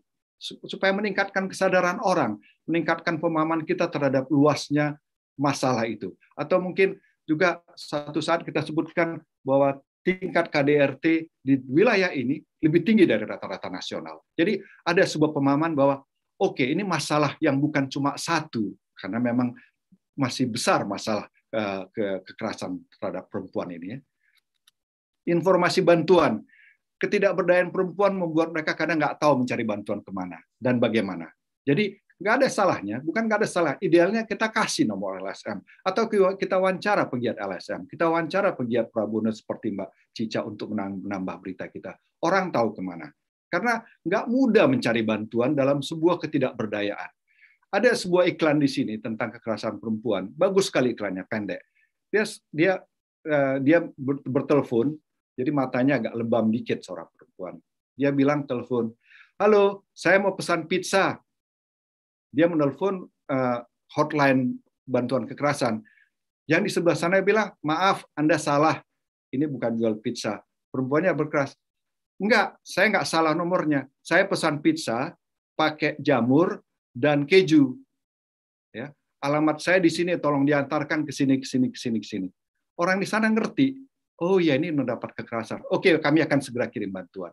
Itu menunjukkan bahwa di Inggris sekalipun yang sudah lebih relatif lebih maju saya kira kesetaraan gendernya, orang itu masih takut melapor karena kalau dia ketahuan suaminya dia akan dipukul lagi. Ya. Yang kelima kemanusiaan. Sering kita bertanya bahwa dengan tidak menyebutkan identitas korban kita sebutkan alah inisial sajalah. Tapi kemudian kita sebut misalnya kayak berita yang tadi itu ada disebutkan uh, korban IN tinggalnya di kampung ini, kecamatan ini, kelurahan sini, ya sama aja kita bikin identitasnya. Ya. Kemudian ketika kita wawancarai korban, apakah korban itu sebenarnya rela diwawancarai? Atau kalau kita wawancarai di depan polisi, ya dia merasa tertekan, dia harus terpaksa menerima menerima wartawan itu karena enggak kalau enggak nanti dibentak bisa juga digertak-gertak lagi sama polisinya kan nah itulah prinsip dalam meliputi kekerasan atas perempuan sedangkan liputan tentang perempuan ya patuhi mereka bukan objek fisik, tanpa prasangka, dan berdasarkan kesetaraan. Saya punya putri yang masih kuliah, dan kami suka ribut berdiskusi. Satu tantangan yang dari dia, yang terus akan saya ingat dalam proses saya ini adalah, dia bilang gini, Pak, coba sebut satu contoh yang dilakukan laki-laki, dan aku akan kasih satu contoh juga dilakukan perempuan. Kami pernah simulasi ini beneran. Memang ketemu semuanya. Astronot perempuan ada. Supir bus perempuan ada. Pembunuh perempuan juga ada. CEO perempuan juga ada. Bagina CEO. Ya. Kemudian, ah tapi yang kerja fisik nggak ada, tukang batu. Ah di Bali dari dulu juga banyak tukang batu perempuan. Jadi coba challenge dengan pertanyaan itu selalu ada yang tidak bisa kita bedakan lagi laki-laki dan perempuan sekarang ini. Nah, kita lihat lagi media di Indonesia. Ini ada satu media yang bikin kumpulan berita wanita cantik. Kemudian yang bawah ini cantik dan mempesona gadis Dayak berburu buah durian di hutan. Isi beritanya itu fisik, kulitnya yang putih fisik sekali. Lapan pesona Kirani Triat Mojo, anak gadis Mayang Sari bersuara seksi. Usia anak ini udah 15, baru 15 tahun, tapi sudah dikasih dia predikat-predikat predikat seperti itu dalam budaya patriarki. Kita lihat berita-berita yang sederhana mungkin kita lihat, tapi dia lebih pro perempuan, lebih kesetaraan gender, mengangkat masalahnya. Bukan harus tentang yang baik, tapi juga mengangkat masalah karena masalahnya ini ada masih di mana-mana. Eh, PBB itu membuat satu laporan, pernah saya lupa tahun berapa, eh, dia mengatakan kalau berdasarkan semua ukuran, belum ada negara di dunia ini pun yang punya kesetaraan gender total 100%. Belum belum ada mereka bilang. Tapi mereka punya banyak ukuran sekali. Jadi ketika ukuran pekerjaan sudah banyak ukuran-ukuran lainnya gitu, termasuk gaya pikir. Belum ada menurut mereka. Nah, jadi memberitakan sebuah masalah itu adalah bukan untuk istilah zaman dulu itu berita adalah yang buruk. Bukan, tapi kita memberikan kesadaran, memberikan jembatan untuk memahami sebuah masalah. Banyak orang-orang yang terkungkung dalam sebuah dunia patriarki, dia perlu jembatan. Nah, itu mestinya yang dilakukan oleh media sekarang. Perempuan pengusaha ini berita-berita yang saya pikir uh, apa ya memperdayakan dan juga mengangkat masalah-masalah supaya orang lebih sadar gitu. Kemudian Taliban tentang Taliban kita baru tahu Afghanistan kembali dilanda yang apa ya uh, di Taliban berkuasa kembali di sana. Dan uh, berita-berita bermasalah ini juga meningkatkan masalah sehingga kemarin itu di Inggris berlangsung sidang parlemen uh, lengkap tentang membahas Taliban. Salah satu isunya perempuan karena media terus mengangkat mengangkat masalah itu salah satunya. Tentu bukan hanya masalah perempuan, tapi itu jelas salah satu agenda dari uh, sidang parlemen yang kebetulan saya dengar. Nah, kemudian nah itu kita pergi lihat satu peristiwa dengan liputan dua media. Ini adalah uh, peristiwa dari empat gadis Jabar yang dijadikan pemandu di lagu karaoke di Papua. Nah, uh, beritanya sama beritanya ya. Tapi pertanyaan yang kita harus ajukan ke dalam berita ini, nggak satu pun dari berita itu menunjukkan nama karaoke-nya apa. Kalau orang disatakan korban perdagangan manusia kerja di sebuah karaoke, bukan karaoke-nya itu bertanggung jawab juga ya untuk perdagangan manusianya. Mestinya. Nggak disebut nama karaoke. Siapa pemiliknya apalagi. Kedua, nggak ada konteksnya. Berapa banyak sudah perempuan yang jadi korban perdagangan manusia di Indonesia? Kita tahu semuanya banyak, ya. Jadi jadi di, ke, sudah berita sudah berapa berita kita dengar dari orang di Papua dibawa ke Papua, nggak ada konteksnya. Hanya berita dua ini aja. Tadi itu lagi mungkin karena CEO dengan clickbaitnya saya pikir ya. Foto anak di bawah 17 tahun yang sebelah kanan ini ya, memang dia nggak disebut namanya, tapi nama ibunya ada, kampungnya ada, semuanya ada. Kemudian foto anak di bawah 17 tahun, walau tempat umum, dan dia fokus ke anaknya, kayaknya perlu izin mestinya. Kecuali kita hanya menggambarkan secara umum ya. Tapi ini kan khusus anaknya. Pakai masker. Oke, kita punya perdebatan. Tapi wartawan mestinya lebih sadar, gua foto nggak ini anak ini?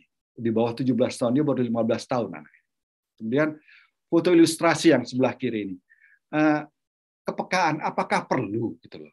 Nah, nggak jelas kok boleh, tapi itu dia kemanusiaan itu. Ada rasa manusia, apakah perlu gua bikin foto seperti ini? Mungkin bukan foto perempuan-perempuan PL-nya, tapi laki-laki yang sedang bersenang-senang mungkin kan. Tapi itulah dia. Jadi ada berita berita-berita yang dua ini yang sebenarnya satu peristiwanya ya dan kemudian mereka punya uh, cara pandang dan lebih cenderung untuk membuat mereka selamat tapi tidak tidak mencoba mengangkat apa masalah utamanya bagaimana jalan keluarnya, apa-apa saja yang tersedia jalan keluarnya. Tapi ini berita ketiga peristiwa yang sama. Saya kira ini berita tadi juga nggak ada informasi bantuan NGO ya. Ini media ini udah menyimpulkan mereka jadi PSK selesai, nggak ada nggak ada cerita lagi, selesai aja. Kenapa? Saya duga itu tadi clickbait sama SEO, PSK mungkin banyak yang mencari. Di dalam uh, beritanya ada video tentang uh, penggerebekan tempat karaoke rumah karaoke di mana saya lupa. Tapi dia bukan berita tentang ini. Di situ ada para perempuannya yang uh, nggak mau difoto dipasang saja sama mereka. Walaupun nutup mata. Loh ini mereka ini adalah korban bukan pelaku. Korban dari sebuah sistem dan sebuah bisnis yang melanggar undang-undang yang mestinya difoto itu mungkin para para para pelanggannya ya bukan bukan ini. Ini mereka korbannya. Jadi kalau mereka nggak mau ya jangan dipaksa dong gitu bukannya mereka juga malah perlu dilindungi. Jadi baik apa yang apa apa yang bisa kita lakukan terhadap media-media yang jahat kepada perempuan ini? Seperti yang sudah kita singgung itu era banjir informasi ini meningkatkan transparansi akuntabilitas dan demokratisasi termasuk dalam sektor media Teknologi juga memungkinkan kita berinteraksi langsung dengan media. Jadi kalau dulu nulis surat pembaca lama itu, seminggu syukur-syukur sampai. Sekarang bisa langsung kasih komentar, ya. Dan kita bisa kasih komentar langsung. Juga memang ada ancaman undang-undang ITE, agak berat di Indonesia ini ya. Banyak bikin orang jadi takut berkomentar. Kita nggak menghujat kita bisa tetap melakukannya. Ada kekuatan baru kita di tangan kita sekarang yaitu uh, apa uh, kekuatan untuk mengisu lewat sosial media. Juga laporkan ke lembaga-lembaga yang peduli, Komnas HAM, LBH Pers, LBH API, LBH Masyarakat, terus ke koneksi, mungkin uh, ke maju. Jadi banyak yang kita lakukan sebagai sebagai individu, sebagai pengguna berita. Jangan lupa bahwa era banjir informasi memang membuat kita berdaya melawan kepungan informasi. Pilihannya kita pasif terkepung dan tadi nyaman di zona kita keluar ada pilihannya. Kita pilih yang aktif. Tapi eh, baiklah, selain itu ada yang formal lagi, Undang-Undang Pokok Pers nomor 40 1999 itu di situ disebutkan azas praduga tak bersalah, Kemudian kita juga punya hak menjelaskan, hak koreksi itu salah, semuanya ada di sana sebenarnya. Dan uh, uh, kode etik jurnalistik 11 selalu menguji informasi, memberitakan secara berimbang, tidak mencampurkan fakta dan opini yang menghakimi, serta menerapkan azas praduga tak bersalah kita jalankan ini beres urusan. Tapi kan itu masalahnya nggak dijalankan semua. Apa yang kita lakukan? Kita bisa melakukan mengadukan ke Dewan Pers. Dewan Pers ini sayangnya dia memang hanya bisa menerima pengaduan. Jadi kalau kita diam aja ya nggak ada yang terjadi apa-apa. Kira-kira seperti itu. Kemudian eh, dia juga melakukan sertifikasi wartawan ada 17.000 penertiban media online dari 3.000 media online, mereka mengkategorikan ada media profesional, media lupa satu lagi apa sama media abal-abal, dua profesional. Sayangnya dari berita-berita tadi yang kita sudah lihat itu, beberapa itu diberitakan oleh media yang tergolong profesional juga. Jadi uh, set, nah, buat lah ya, memang masih seperti itu ya. Tapi ada memang masalah dalam hukum pers di Indonesia ini dia masih terlalu menekankan kepada kebebasan pers yang memang sampai sekarang masih perlu dijamin. Masih banyak jurnalis yang sekarang dipukulin, diintimidasi, bahkan dibunuh. Tapi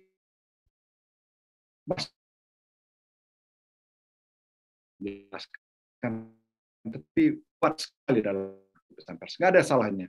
Tapi situasi sudah berkembang.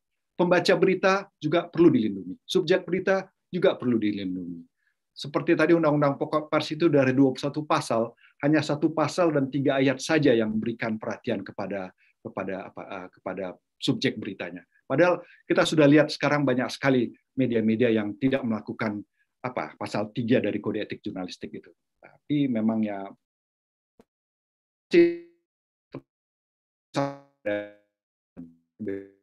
kita beralih atau menyeimbangkannya sedikit.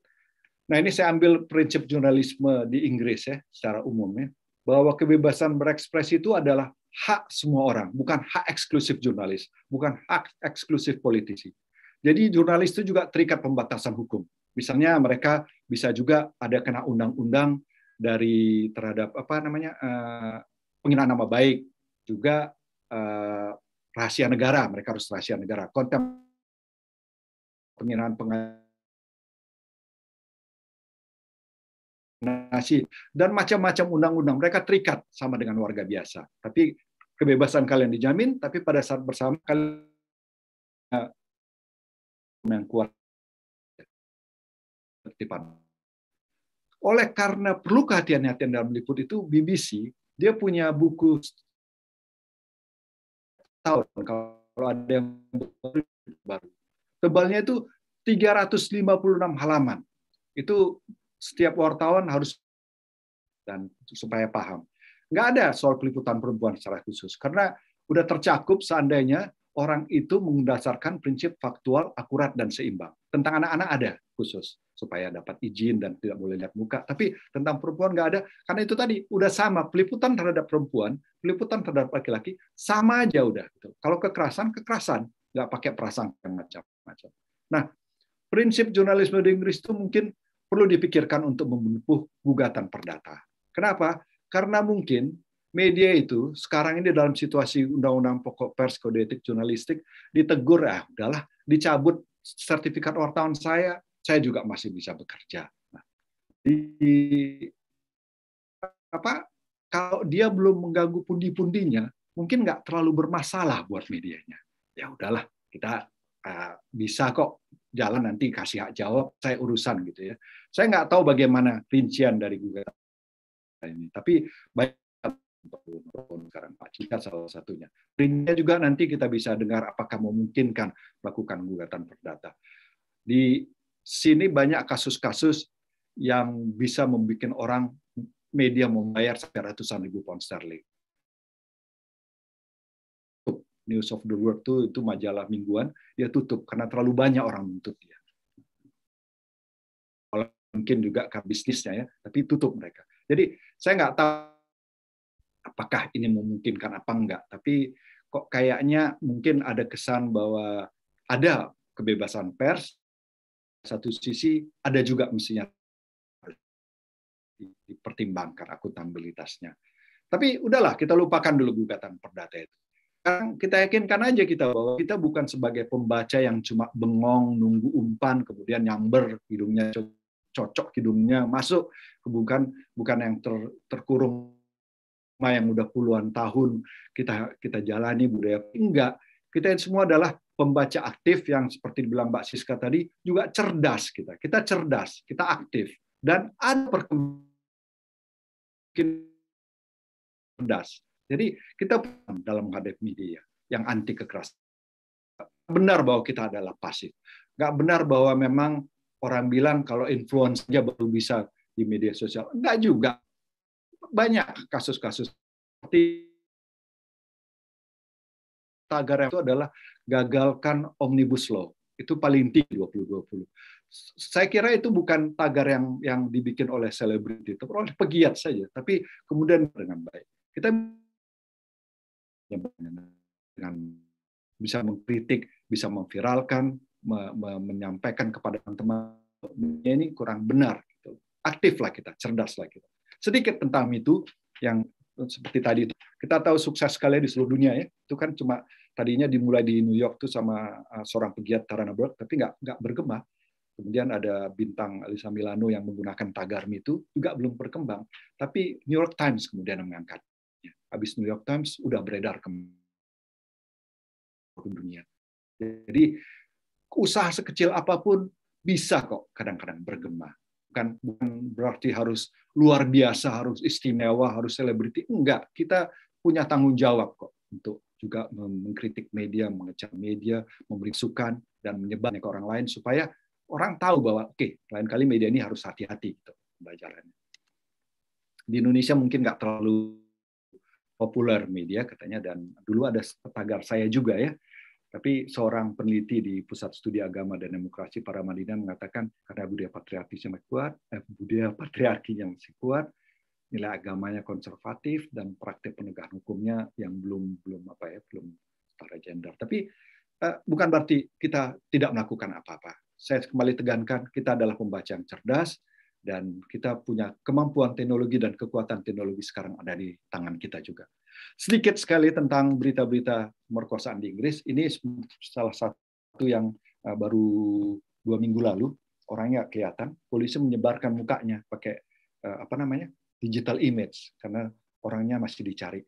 Dan kita lihat bahwa dia pelakunya yang jadi masalah. Banyak nggak terlalu penting. Ini satu lagi adalah seorang uh, yang sudah vonis, sudah hakim, dipasang fotonya, ditaruh namanya, bahwa dia yang salah. Korbannya itu nggak disebut. Disebut, tapi bukan tidak ada rincian tentang korbannya.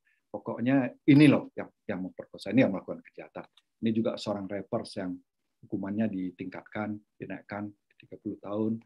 Uh, ada sebuah penelitian tentang universitas-universitas yang dianggap apalah tidak tidak ramah perempuan dipermalukan paling enggak setidaknya kan diangkat masalahnya.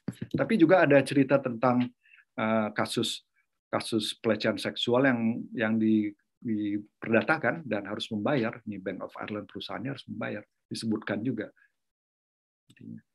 Pantas bagaimana polisi di London Metropolitan Police itu 200 eh, orang dituduh melakukan perilaku seksual yang tidak benar selama waktu dua tahun.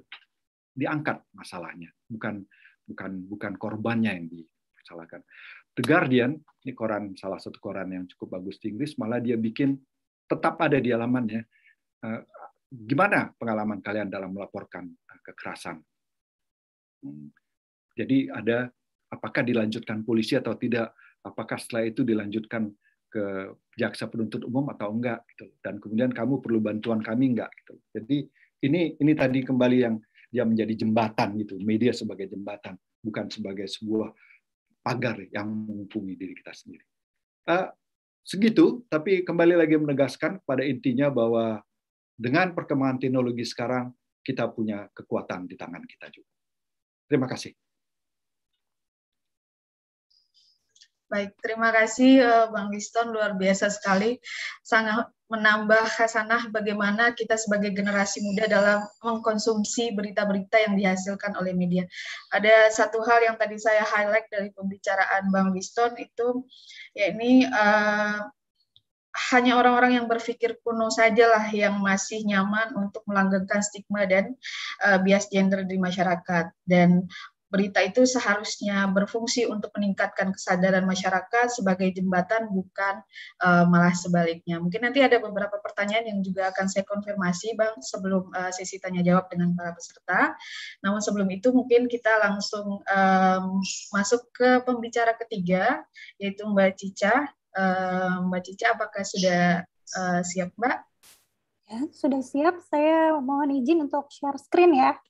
Ya, boleh Mbak, silahkan. Waktu dan tempat dipersilahkan ya Mbak Jica. Ya, terima kasih buat kesempatannya. Oke, selamat siang semuanya. Sorry.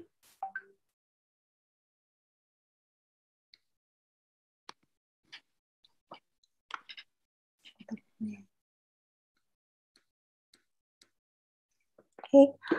Ya, terima kasih buat kesempatannya dari Hukum Online dan Justika.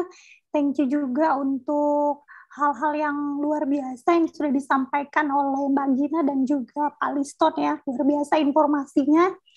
Nah, di sini saya sebagai mitra koneksi dan sebagai advokat dipercayakan untuk menyampaikan materi tentang penanganan yang tepat kepada korban kekerasan terhadap perempuan.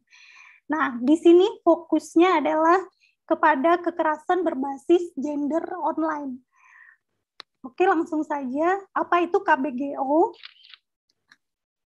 Ya, kekerasan berbasis gender online ini atau KBG ini sebenarnya sama dengan kekerasan yang dilakukan secara langsung ya atau kekerasan fisik, tetapi yang berbeda adalah kekerasan ini difasilitasi teknologi. Jadi yang terpenting adalah unsurnya memiliki niatan atau maksud melecehkan korban berdasarkan gender atau seksual. Oke, data KBGO mengatakan bahwa data lembaga penyedia layanan menunjukkan bahwa KBGO ini meningkat di masa pandemi. Kenapa? Karena di masa pandemi orang lebih banyak ada di rumah, kemudian kan menggunakan fasilitas teknologi gitu ya. Jadi sehingga terjadilah kekerasan berbasis gender online ini. Nah, menurut sumber Komnas Perempuan yang dilansir 5 Maret 2021, dari 280 kasus di tahun 2019 2019 menjadi 940 kasus pada tahun 2020. Ya, aktivitas KGO atau kekerasan berbasis gender online. Yang pertama pelanggaran privasi. Pelanggaran privasi ini contohnya sebenarnya banyak, tapi saya berikan satu contoh.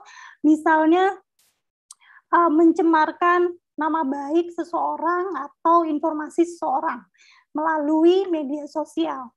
Nah, ini termasuk dalam aktivitas KBGO yang nomor satu yaitu pelanggaran privasi. Yang kedua ada pengawasan dan pemantauan. Di sini di mana misalnya si pelaku melakukan stalking, ya penguntitan, mengawasi. Nah, ini adalah pengawasan dan pemantauan. Kemudian perusakan dan reputasi atau kredibilitas, di mana juga uh, si pelaku mencemarkan nama baik seseorang melalui media sosial. Lalu yang keempat ada pelecehan. Ini pelecehan melalui pesan-pesan ya. Kemudian mengirimkan gambar-gambar yang tidak senonoh, kemudian memakai foto seseorang ya. Nah, ini termasuk di dalam pelecehan. Kemudian yang kelima, ancaman dan kekerasan langsung. Jadi uh, mengancam si korban, misalnya dengan meminta uang, jika tidak diberikan maka fotonya akan disebarkan. Yang terakhir ada serangan yang ditargetkan di komunitas tertentu. Jadi misalnya ada komunitas-komunitas yang memperjuangkan eh, hak-hak seseorang itu diserang melalui media online. Nah, siapa saja yang rawan menjadi korban? Yang pertama adalah seseorang yang terlibat dalam hubungan intim. Ini kami pernah punya pengalaman untuk mendampingi korban yang tadinya berpacaran, kemudian putus dengan pacarnya, ternyata pada saat uh, berhubungan dia melakukan uh, menye apa, melakukan hubungan intim dan di foto atau video. Nah itu yang menjadi alat uh, pelaku untuk mengancam si korban. Kemudian yang kedua, yang rawan menjadi korban adalah profesional yang melakukan ekspresi publik bisa seperti aktivis, jurnalis, penulis, peneliti, musisi, aktor, atau profil publik. Yang ketiga adalah penyintas dan korban kekerasan fisik. Ya, di mana orang ini adalah yang menjadi korban pemerkosaan atau pelecehan, lalu kemudian diambil fotonya, dan itu juga dipakai sehingga bisa menjadi peluang berulang-ulang si pelaku melakukan pelecehan terhadap korban. Apabila tidak diikuti kemauannya, maka akan diancam penyebaran foto atau video tersebut. Ya, dampak KBGO yang pertama kerugian psikologis, di mana seseorang yang mengalami kekerasan fisik itu mengalami depresi ya, mengalami stres, bahkan ingin bunuh diri. Kita sering juga menghadapi para korban yang seperti ini karena dia malu, ya kan? Terus kemudian eh, akan diancam dilaporkan ke, ke keluarganya sehingga dia mengalami depresi yang sangat berat. Yang kedua, keterasingan sosial. Nah, karena tadi videonya sudah disebarkan, kemudian foto-fotonya sudah disebarkan, dia menjadi minder, menjadi takut dan tidak mau bertemu dengan orang-orang di luar sana. Ya. Yang ketiga, dampak dari KBGO itu kerugian ekonomi. Orang-orang yang sudah dipermalukan, otomatis dia juga tidak mau keluar rumah, tidak mau bekerja, menutup dan mengurung dirinya. Sehingga berakibat dia tidak bisa menghasilkan sesuatu. Yang keempat, mobilitasnya terbatas. Otomatis ketika dia mengalami keterasingan, dia menjadi takut dan malu, otomatis dia tidak bisa ke mana-mana. Dan mobilitasnya terbatas. Yang kelima, sensor diri. Sensor diri dalam arti dia sudah trauma dengan apa yang terjadi, penyebaran berita di online atau pesan-pesan di online, otomatis dia trauma dan menarik diri dari uh, berita media-media sosial. Ya, itu adalah kelima dampak dari KBGO. Yang harus dilakukan korban KBGO apabila ada teman-teman atau orang sekitar kita yang mengalami atau menjadi korban KBGO, yang pertama adalah lakukan segera atau dokumentasikan hal-hal yang terjadi. Misalnya di capture berita-beritanya atau pesan-pesannya, atau misalnya ada video atau foto yang di-share ke media sosial, itu segera dokumentasikan sebelum diminta take down-nya. Jadi dicatat URL-nya, uh, kan ada URL-nya, karena kalau nama itu bisa diganti-ganti, tetapi kalau URL dicatat saja, nanti itu dijadikan bahan laporan. Segera dokumentasikan tersebut. Yang kedua adalah hubungi bantuan. Jika dia adalah korban atau kita adalah orang terdekat, ceritakan apa masalah kita, jangan dipendam, jangan biarkan itu berlarut-larut, segera mencari orang terdekat yang bisa kita percaya, sehingga bisa mencarikan solusi atau mendampingi kita saat uh, mengalami atau menjadi korban KBGO.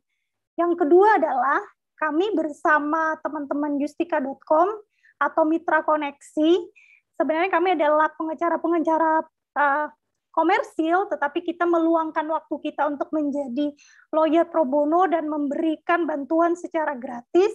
Dan di sini kita bisa konsultasi melalui justika.com uh, strip koneksi. Ya, Kemudian korban juga bisa meminta bantuan kepada lembaga bantuan hukum. Kalau di Jakarta ada LBH Apik, ya kan? kalau di Batam eh, saya kebetulan ada di LBH PDHB dan LBH Suara Keadilan Batam yang fokusnya adalah mendampingi korban eh, khususnya perempuan dan juga pelaku perempuan. Nah, kita juga bisa ada hotline atau melalui email komnasperempuan.co.go.id. Ya, selanjutnya apabila kita sudah menghubungi bantuan lalu berkonsultasi, langsung kita lapor kepada pihak yang berwajib. Tetapi tentunya ketika kita melaporkan hal ini kita harus punya dua alat bukti yang cukup ya.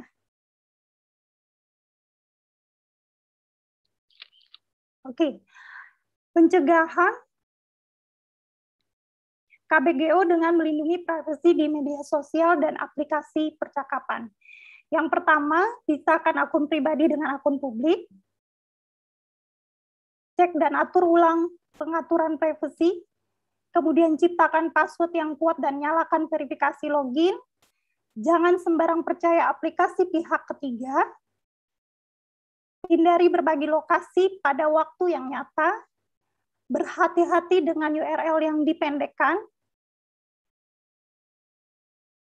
lakukan data detox,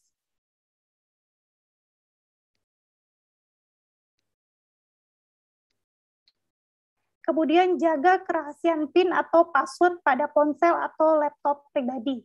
Nah, ini pengalaman mungkin teman-teman yang suka buka medsos lalu kemudian ikut game-games ya. Nah, hati-hati kepada aplikasi pihak ketiga jika meminta data kita secara pribadi itu takutnya nanti akan disalahgunakan. Oke, penanganan terhadap korban KBGO. Yang pertama adalah yang bisa kita lakukan adalah konsultasi online. Ya, bisa tadi melalui justika.com. Kemudian kita juga bisa menghubungi LBH terdekat. Dan ketika kita sudah melakukan konsultasi online, kita memberikan rasa nyaman dulu, rasa percaya kepada korban, lalu kemudian kita mengatur pertemuan secara tatap muka. Ya, Nah, ketika melakukan konsultasi tatap muka, biasanya kita mempelajari dulu kasusnya seperti apa, lalu kemudian kita lihat jika memang si korban itu mengalami depresi yang sangat berat, tekanan yang sangat berat, maka kita akan menganjurkan untuk konsultasi kepada psikolog. Nah, sekarang adalah tugas dari kami sebagai lawyer, khususnya lawyer perempuan, di mana kami melihat bahwa kami tidak hanya bisa cukup untuk pendampingan secara hukum, tetapi kami juga harus menggandeng uh, psikolog di mana mereka juga selama proses persidangan, baik khususnya sebagai korban, mereka perlu uh, ada konsultasi kejiwaannya supaya mereka lebih tenang dan mereka bisa dipulihkan dan mereka bisa memberikan keterangan yang benar di persidangan. Kemudian yang keempat, pendampingan untuk laporan ke kepolisian. Nah, ini adalah uh, penanganan uh, yang pertama yang bisa kita lakukan sebagai advokat, yaitu konsultasi online, konsultasi tatap muka, lalu kemudian konsultasi psikolog dan pendampingan untuk laporan ke kepolisian. Payung hukumnya karena ini berbasis online, maka ada undang-undang yang mengaturnya, yaitu Undang-Undang ITE nomor 19 tahun 2016 perubahan atas Undang-Undang nomor 11 tahun 2008 tentang informasi dan transaksi elektronik. Nah, tantangan kami sebagai advokat di mana sekalipun ada undang-undang ITE, tetapi sejujurnya instrumen hukum ini tidak memadai dan beresiko untuk merefek mereviktimisasi korban. Di mana sebenarnya undang-undang ITE ini dia perumusannya atau pendekatannya lebih kepada penyebaran konten, penyebaran data pribadi, dan dia tidak berdimensi untuk kepada kekerasan berbasis gender.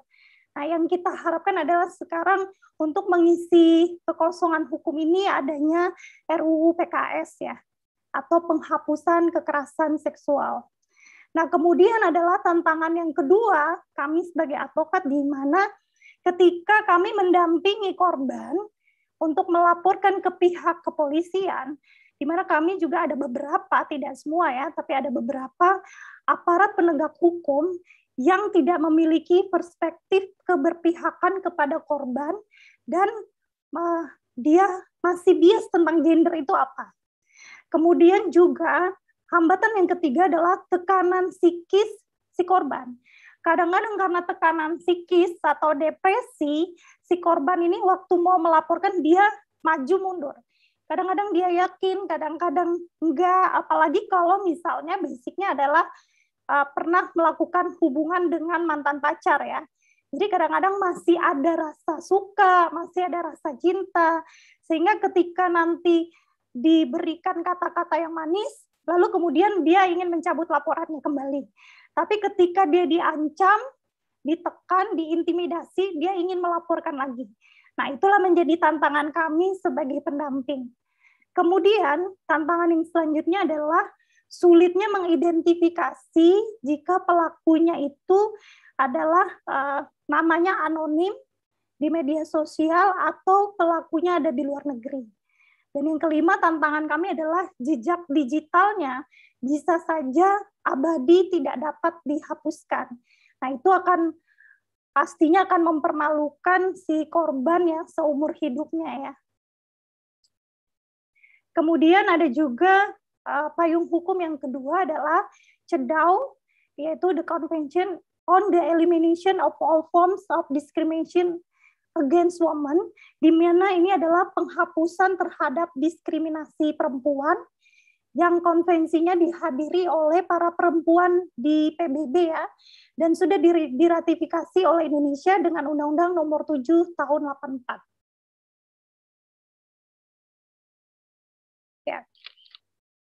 Sorry. Ya. Kemudian yang ketiga, payung hukumnya adalah Undang-Undang Nomor 31 Tahun 2014 tentang perubahan atas Undang-Undang Nomor 13 Tahun 2006 mengenai perlindungan saksi dan korban. Jadi baik saksi maupun korban tidak perlu takut karena ada perlindungan oleh satu lembaga namanya LPSK. Bahkan LPSK sekarang punya aplikasi di Play Store. Jadi kalau kita mengajukan permohonan perlindungan, kita bisa mengunduh aplikasinya dan mengajukan permohonan permohonan di form di aplikasi tersebut. Ya, tadi sudah dijelaskan juga uh, tentang uh, hak jawab juga hak koreksi sesuai Undang-Undang Pers nomor 40 tahun 99 ya. Nah, hak jawab yaitu hak jawab seseorang atau sekelompok orang di mana apabila dia merasa dirinya dirugikan oleh pemberitaan media, maka dia mempunyai hak untuk memberikan tanggapan atau sanggahan. Tadi ada headline yang mengatakan gadis Dayak berburu uh, durian di hutan ya Pak. Saya tersenyum karena saya adalah gadis Dayak Pak. Nah, kalau misalnya saya memberikan sanggahan atau tanggapan, gadis Dayak memberikan bantuan pro bono kepada perempuan yang berhadapan dengan hukum. Boleh ya Pak ya? Ya, jadi hak jawab adalah hak dari seseorang yang merasa nama baiknya dirugikan dan itu boleh diminta atau dilaporkan kepada Dewan Pers ya. Atau bisa media yang bersangkutan dulu apabila misalnya etika-etikanya masih belum dilanggar, dan mereka masih mau mendengarkan, kita bisa langsung datang ke medianya dan minta kita diberikan hak jawab atas berita yang ada. Nah, kemudian hak koreksi adalah hak setiap orang untuk mengoreksi atau membetulkan kekeliruan informasi yang diberitakan oleh pers, baik tentang dirinya maupun tentang orang lain. Nah, hak koreksi ini bisa juga oleh media tersebut. Nah, tadi seperti Pak Lison bilang, apakah bisa menggugat? Ya bisa saja kalau kita mau melakukan gugatan atau kita mengalami kerugian dari berita media tersebut, tetapi harusnya adalah melalui step yaitu hak jawab dan hak koreksi dulu. Jika ternyata hak jawab dan hak koreksi itu tidak diberikan, maka si korban atau orang yang diberitakan di media bisa mengajukan gugatan tersebut. Oke, itu singkat dari saya. Pesannya adalah speak up. Kalau kita adalah korban dari kekerasan atau kita adalah keluarga dari korban kekerasan, berbicaralah, laporkanlah, karena itu tidak hanya menolong diri kita sendiri, tetapi juga menolong orang lain dan mencegah kekerasan itu terjadi. Terima kasih, Tuhan memberkati. Baik, terima kasih Mbak Cica atas pemaparan yang sudah diberikan. Tadi ada beberapa hal yang mungkin saya bisa highlight dari pemaparan dari Mbak Cica, yaitu semua orang itu sangat berpotensi untuk menjadi korban dan juga ayo speak up karena upaya kita dalam melakukan eh, saat kita speak up kita sama saja melindungi diri kita juga dan juga orang lain yang ada di sekitar kita. Nah, mungkin uh, selanjutnya uh, para hadirin sekalian dan juga para narasumber kita akan memasuki ke uh, dalam sesi tanya jawab. Namun sebelum ke pertanyaan yang sudah diberikan oleh para peserta, di sini cukup antusias sekali ada banyak pertanyaan yang diajukan kepada para narasumber. Uh, namun sebelum ke sana saya izin uh, untuk mengajukan uh, satu dua pertanyaan saja karena bersifat uh, menggali uh, sedikit saja dari pemaparan yang sudah disampaikan. Uh, yang pertama itu kepada Mbak Gina, gitu Mbak, um, yang mau saya uh, perdalam adalah apa sih sebenarnya yang bisa dilakukan oleh anak muda sehingga dia bisa lebih berperan secara nyata dalam uh, menghilangkan stigma dan juga bias gender yang terjadi di masyarakat itu sendiri. Dan yang kedua adalah uh, sejauh ini Mbak uh, sudah seber dampak apa yang sudah uh, diberikan gitu Mbak atau yang dihasilkan dari karya-karya luar biasa yang baginya sudah uh, ciptakan nih hingga hari ini sehingga advokasi untuk menghapus stigma dan bias gender di masyarakat itu uh, terjadi gitu bisa dilakukan itu buat Mbak Gina. Kemudian untuk Bang Listo mungkin ada satu pertanyaan saja Bang yang ingin saya perdalam. Uh, sebenarnya Bang uh, uh, apa sih upaya yang dilakukan oleh si media uh, secara internal begitu uh, Bang terhadap uh, para jurnalis gitu yang melanggar prinsip-prinsip pemberitaan yang tadi sebenarnya sudah Bang uh, Liston uh, sampaikan juga gitu ya karena ada dilema di situ ada clickbait dan juga ada uh, pundi-pundi uang kemudian di satu sisi mereka juga harus uh, pro untuk menghilangkan stigma dan juga bias gender yang ada di masyarakat. Kemudian untuk um, Mbak Cica mungkin sedikit saja Uh, sebenarnya Mbak tadi kan sudah sangat banyak informasi yang kita bisa gunakan ya beberapa kanal yang bisa kita tempuh untuk uh, mengadukan dalam tanda kutip begitu ya eh, tindakan-tindakan uh, kekerasan terhadap perempuan, gender dan lain sebagainya. Namun uh, bagaimana sih Mbak untuk mengatasi dilema masyarakat yang ingin mengadu itu sendiri karena kan saat kita speak up sering kali itu para korban atau orang yang melapor itu malah diserang balik dengan adanya undang-undang ITE. Mungkin uh, itu aja Mbak dari aku uh, untuk pertanyaan pembuka sebelum sesi tanya jawab kepada para peserta. Uh, urutannya mungkin sama aja kali ya Mbak uh, Bang dari Mbak Gina dulu nanti uh, Bang Liston habis itu Mbak Cica. Terima kasih. Ya, terima kasih Cica. Oke, Mbak, uh, aku jawab ya. Nah, jadi uh, yang ada dua pertanyaan. Yang pertanyaan yang pertanyaan pertama adalah soal apa yang anak muda bisa lakukan soal kekerasan gender ini gitu. Yang pertama uh, mungkin kita bisa membaginya uh, dari dua sisi kali ya. Yang pertama adalah ngomongin soal membagi informasi soal apa yang dimaksud dengan kekerasan tersebut gitu. Dan maksudnya ketika kita balik lagi kalau misalnya sekarang ini udah budaya influencer, kita terpengaruh sekali uh, dengan algoritma, bahkan apa yang kita share aja itu tuh bisa masuk ke dalam uh, ruang lingkup sosial media yang lain gitu. Misalnya kalau di uh, yang yang setiap yang semua um, medsos, itu tuh punya aturan mainnya, entah TikTok dengan FYP, kemudian Twitter kalau ada yang nge-like akan ngaruh like, terus kemudian uh, kalau di, di Instagram dengan ekspor dan lain-lain. Nah, ketika kita sebagai orang-orang yang berusaha untuk membagikan apa yang kita punya lebih mindful dengan apa yang kita bagikan, maka kita bisa membuat diri kita tuh punya influence yang lebih baik gitu.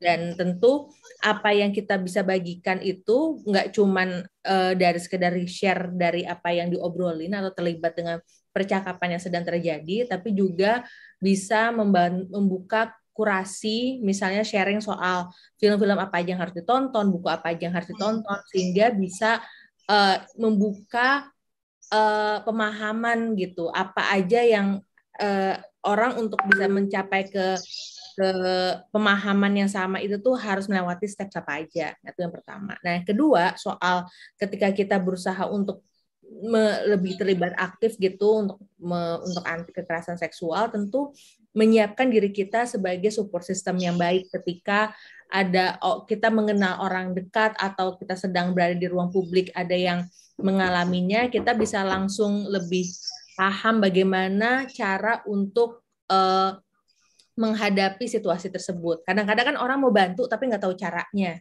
Nah, dengan mengedukasi diri kita sendiri, bagaimana stepsnya, kita harus mengontak siapa, kemudian uh, apa aja yang siapa aja, misalnya kayak ada ini ada hukum, ada ada uh, misalnya kayak Justika, terus ada keyayasan pulih atau ke bahkan ke melindungi diri kita, melindungi teman kita yang kekerasan seks kena kekerasan itu di ruang pribadi kita, kita harus tahu aturan mainnya seperti apa. Jadi jangan sampai uh, da, apa kita membantu tanpa tahu caranya dan dan penting banget untuk nge-share apa yang kita tahu tersebut.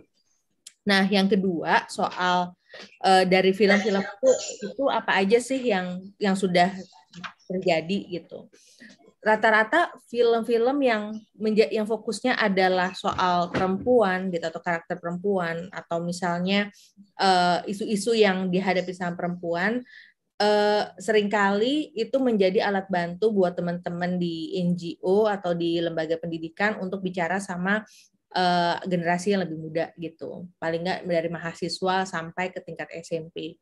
Misalnya kalau kayak dalam film posesif ngomongin soal uh, kekerasan dalam pacaran gitu. Nah itu bisa jadi alat bantu untuk uh, apa sih yang bisa dilakukan uh, kepada teman kita atau ketika diri kita sendiri menghadapi punya pacaran seperti itu atau kita dalam lingkup yang lebih besar ngelihat orang tua kita diperlakukan seperti itu gitu. Nah Uh, dan bahkan ter termasuk adalah membicarakan kekurangan dari film-film ini apa yang yang sebenarnya bisa ditambah itu itu membuat uh, hubungan antara filmmaker sama penonton ataupun orang yang menggunakan film sebagai alat bantunya untuk membuka diskusi juga nggak satu arah tapi bisa uh, bisa saling be, apa ya memberi masukan lah sehingga filmmakernya gitu ke depannya ketika membuat eh, film-film uh, dengan isu tersebut atau ada temennya yang membuat ingin membuat film dengan isu yang sama bisa punya bisa level up gitu bahasannya atau bagaimana cara menceritakannya. Kurang lebih itu sih. Baik, terima kasih Mbak Gina udah saya catat untuk beberapa jawabannya. Dan mungkin untuk selanjutnya dari Bang Liston, boleh Bang silahkan. Ya. Uh, mungkin sebelum kita kasih, aku kasih gambaran sedikit tentang perkembangan iklim media yang sangat drastis terjadi di seluruh dunia ya. Hampir semua media sekarang bisa dikatakan menghadapi kesulitan keuangan di seluruh dunia, hampir semuanya. Mereka harus melakukan adjustment besar-besaran, hmm, baik dalam bentuk uh, penulisan berita, efisiensi di newsroom, di berita, uh, juga melakukan uh, sistem bisnis, apakah sistem berlangganan lebih baik daripada sistem iklan?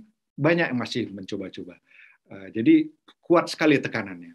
Dan apa boleh buat dengan sistem eh, saat ini, sistem pemasukan media saat ini, iklan masih banyak diandalkan. Dan iklan itu benar-benar pemasang iklan itu menggunakan eh, page view Anda berapa sehari.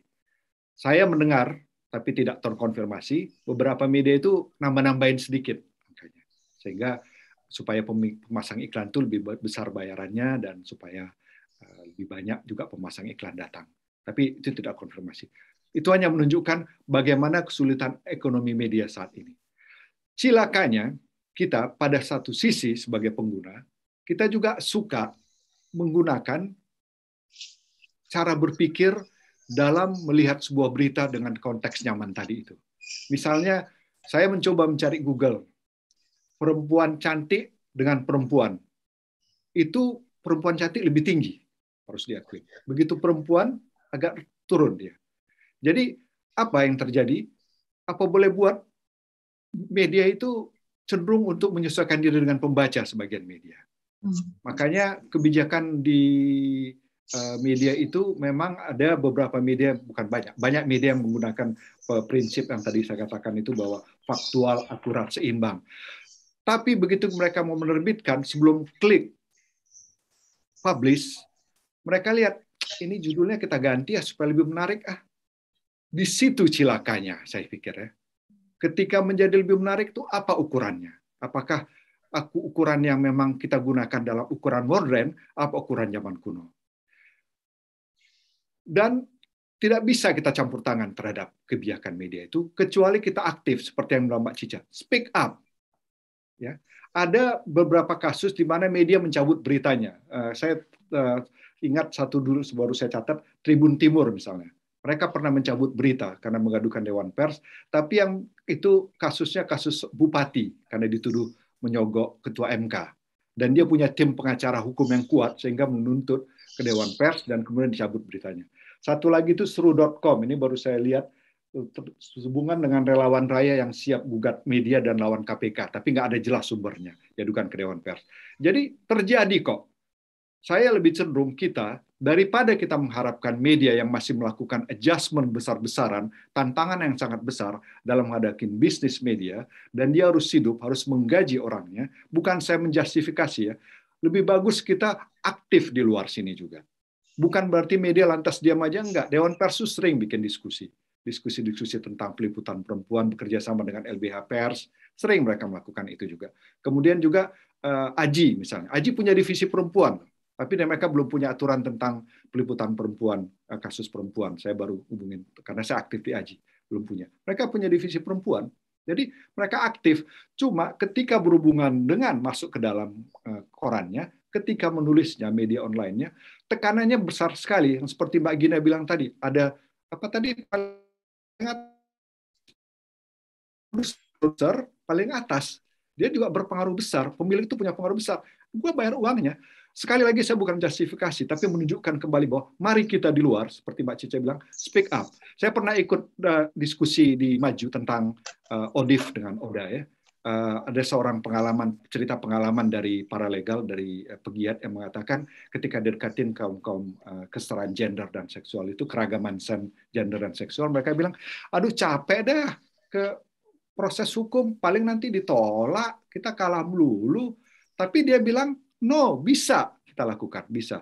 Akhirnya mereka pergi, bisa kok, bisa kok. Cuma kita masih terkungkung dengan kita, aduh kita pembaca nggak berdaya lawan media yang besar sekali. Nggak, saatnya udah saat kita rubah. Kita punya kekuatan kok media sosial. Seperti yang tadi bilang Mbak Jina juga ya. Kalau kita bikin satu media sosial Twitter, dia bisa nyebar dilihat orang. Kalau kita bikin Instagram sekarang satu posting, dia nanya, lo mau bikin juga nggak di Facebook otomatis? Nyebar kok dia itu. Ya, buktinya MeToo itu bisa di seluruh dunia seluruh dunia bisa dia. Eh, kemudian omnibus law itu juga bisa juga. Jadi ada yang bisa kita lakukan. Saya lebih cenderung bahwa ada yang dilakukan oleh media, wartawan-wartawannya itu dengan dia di AJI, di Dewan Pers, lakukan pers, kemudian LBH juga bikin LBH Pers itu aktif sekali ya. Jadi tapi kita juga lebih bagus aktif daripada kita pasif menjadi korban yang menunggu umpan balik apa clickbait tadi itu yang cuma dicocok hidungnya. Aktiflah kita. Tapi bahwa proses transisi ini masih akan panjang karena belum ketemu bentuk bisnis media dan media perlu uang. Dan kita punya kekuatan untuk mengendalikan mereka ke arah yang benar. Itu istilahnya seperti itu kira-kira. Ya, terima kasih Bang Liston. Sudah catat beberapa jawaban tadi yang harapannya itu bisa membuka mata dari para peserta atau juga kita selaku eh, konsumen dari media untuk menjadi pembaca yang lebih aktif gitu ya Bang. Kemudian untuk saya, yang... saya kasih tunjuk, maaf, saya lupa tadi. Oh, iya. Saya baru saja cepat sebentar melihat misalnya, aku share share screen lagi sekilas ya, share screen. Nah ini misalnya di Dewan Pers itu ada pengaduannya, ada udah formulir pengaduannya. Nanti saya kasih linknya ke Dewan Pers dan pengaduannya, jelas. Keterangan tentang hak jawab, koreksi, apa, kemudian pelanggaran kode. Jadi kalau kita udah ke korannya minta kirim, eh kamu jawab nggak ditanggepin ke Dewan Pers, kalau nggak lagi nanti ya bikin viral, viralkan ke media bahwa media ini seperti ini seperti ini. Kalau enggak tadi hubungin Mbak Cica pro bono. Hmm. Ada kemungkinannya kalau udah nggak dijawab uh, apa ini uh, hak jawab dan hak koreksi. Saya bisa bagi nanti link link Dewan Persnya untuk pengaduan itu. Baik, baik. Makasih Bang. Mungkin langsung Mbak Cica kalau yang untuk pertanyaan yang tadi terkait dengan uh, uh, bagaimana cara mengatasi dilema antara speak up dan juga uh, potensi kalau si pelapor akan diserang balik dengan undang-undang ITE. Mungkin tambahannya Mbak ada satu lagi. Uh, sebenarnya bagaimana sih Mbak korelasi tadi beberapa pemberitaan yang sempat dipaparkan oleh Bang Liston dengan kekerasan berbasis gender yang uh, terjadi secara online gitu. Dua nih Mbak pertanyaannya. Makasih Mbak Cica. Oke. Oke, terima kasih. Ya, untuk mengatasi uh, dilema, dilema ya, uh, baik korban maupun pelaku untuk melaporkan yang terjadi kekerasan, yang pertama memang kita harus uh, ada pendekatan, ada edukasi juga kepada korban, kemudian ada hotline juga yang jelas karena tidak semua orang tahu ada tempat untuk mengadu yang tepat seperti LBH, kemudian Komnas Perempuan karena banyak juga yang awam hukum ya jadi kemudian mereka ketika mengalami uh, situasi tersebut, ketika mereka mengalami kekerasan, mereka justru memberitakan itu di media sosial. Nah, yang harus diketahui adalah baik korban maupun keluarga terdekat bahwa kita ada yang namanya asas presumption of innocence, yaitu asas praduga tidak bersalah. Jadi seseorang yang sudah ditangkap sekalipun yang sudah ditahan, dituntut atau diajukan di muka pengadilan itu wajib dianggap tidak bersalah sampai dengan dinyatakan bersalah oleh hakim dan berkekuatan hukum yang tetap. Sehingga ketika mengalami kekerasan tersebut baik secara langsung maupun secara online itu harus dilakukan melalui misalnya laporan ke kepolisian itu lebih baik ya kan daripada koar-koar di berita media karena itu akan berbalik nanti malah terkena ancaman undang-undang ITE pencemaran nama baiknya. Nah, jadi seperti itu ya. Jadi uh, jika kita mengalami itu tentunya kita harus ke orang yang tepat, ke lembaga yang tepat, lalu kita meminta dan menerima atau menjalankan masukan yang tepat khususnya dari advokas advokat ya atau pengacara. Ya, sehingga itu nanti langkah-langkah hukumnya juga tepat. Lalu kemudian korelasi pemberitaan yang berbasis gender tadi ya.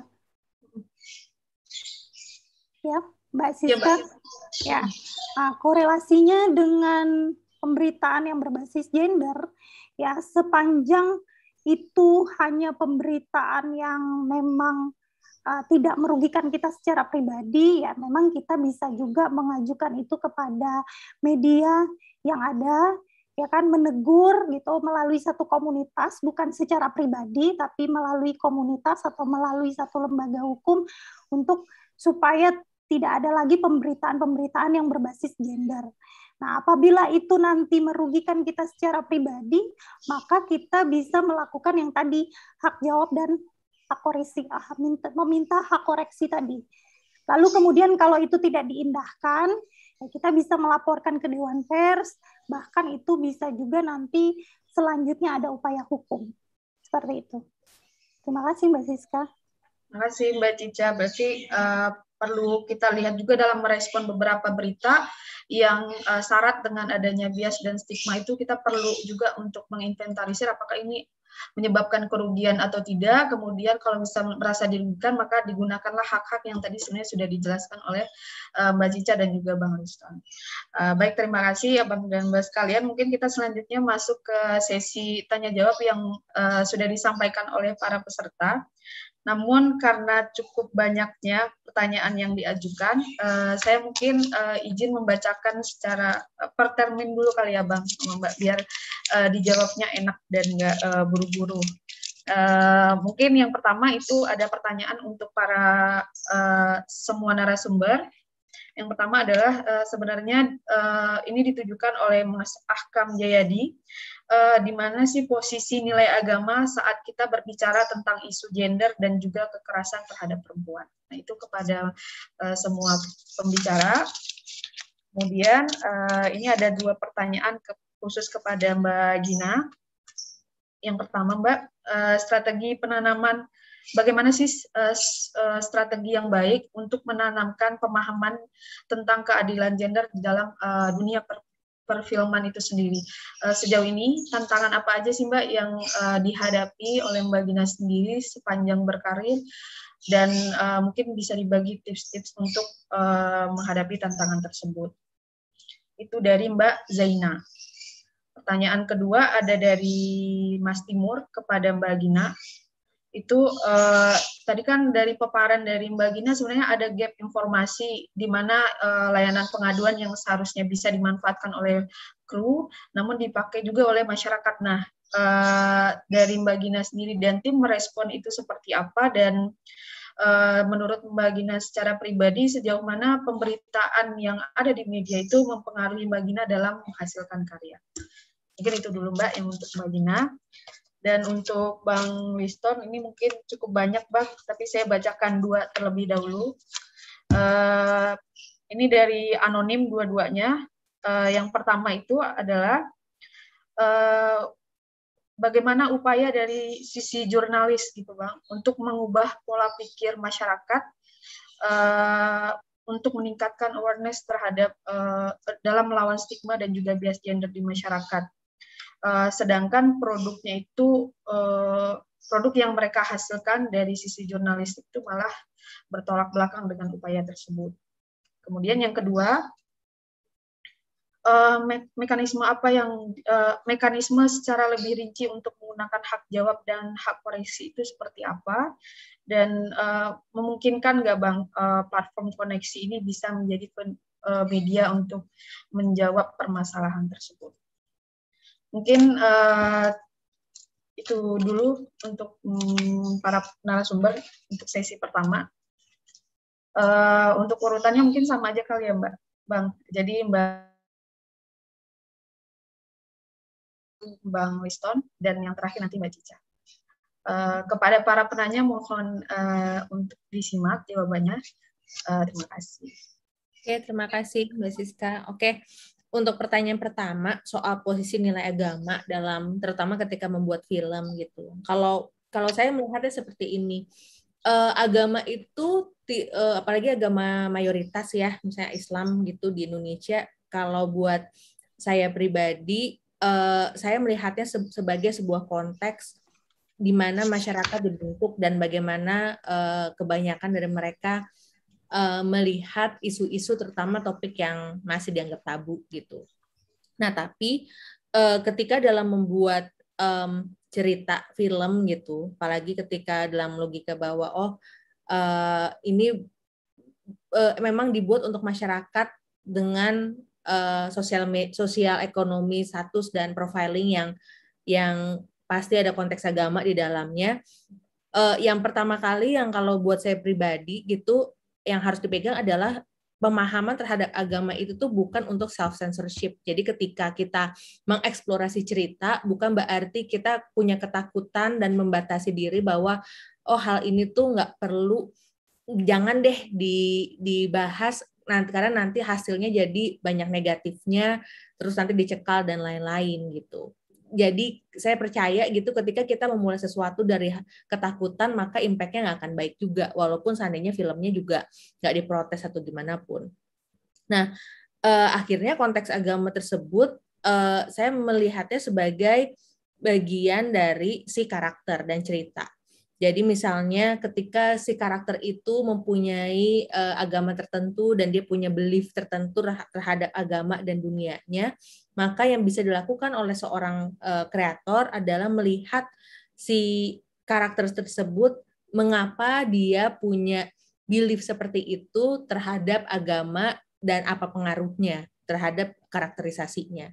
Ketika kita bisa mengeksplor dengan sensitivitas, dengan empatik, pemahaman belief si karakter itu, maka yang terjadi adalah eksplorasi diskusi dengan dengan interaksi antara dia dengan karakter-karakter yang lainnya. Sehingga bukannya uh, membatasi diri kita, tapi justru menggali lebih dalam pemahaman kenapanya, apa yang membuat dia takut, apa yang dia rasa dirinya nggak yakin tekanan seperti apa yang dia hadapi sehingga yang dia punya adalah pegangan agama tersebut gitu. Nah biasanya ketika ada proses eksplorasi, ada rasa empatik ketika kita uh, menceritakannya, menaruh posisi kamera kita, bagaimana cara aktingnya disampaikan, maka biasanya yang terjadi di masyarakat so far adalah pemahaman yang lebih uh, mereka lebih mau berefleksi terhadap momen tersebut kejadian itu karena udah dibangun secara utuh dari awal. Jadi kita uh, me memang setiap film tuh punya uh, usahanya masing-masing. Ada yang memang usahanya untuk me menggugat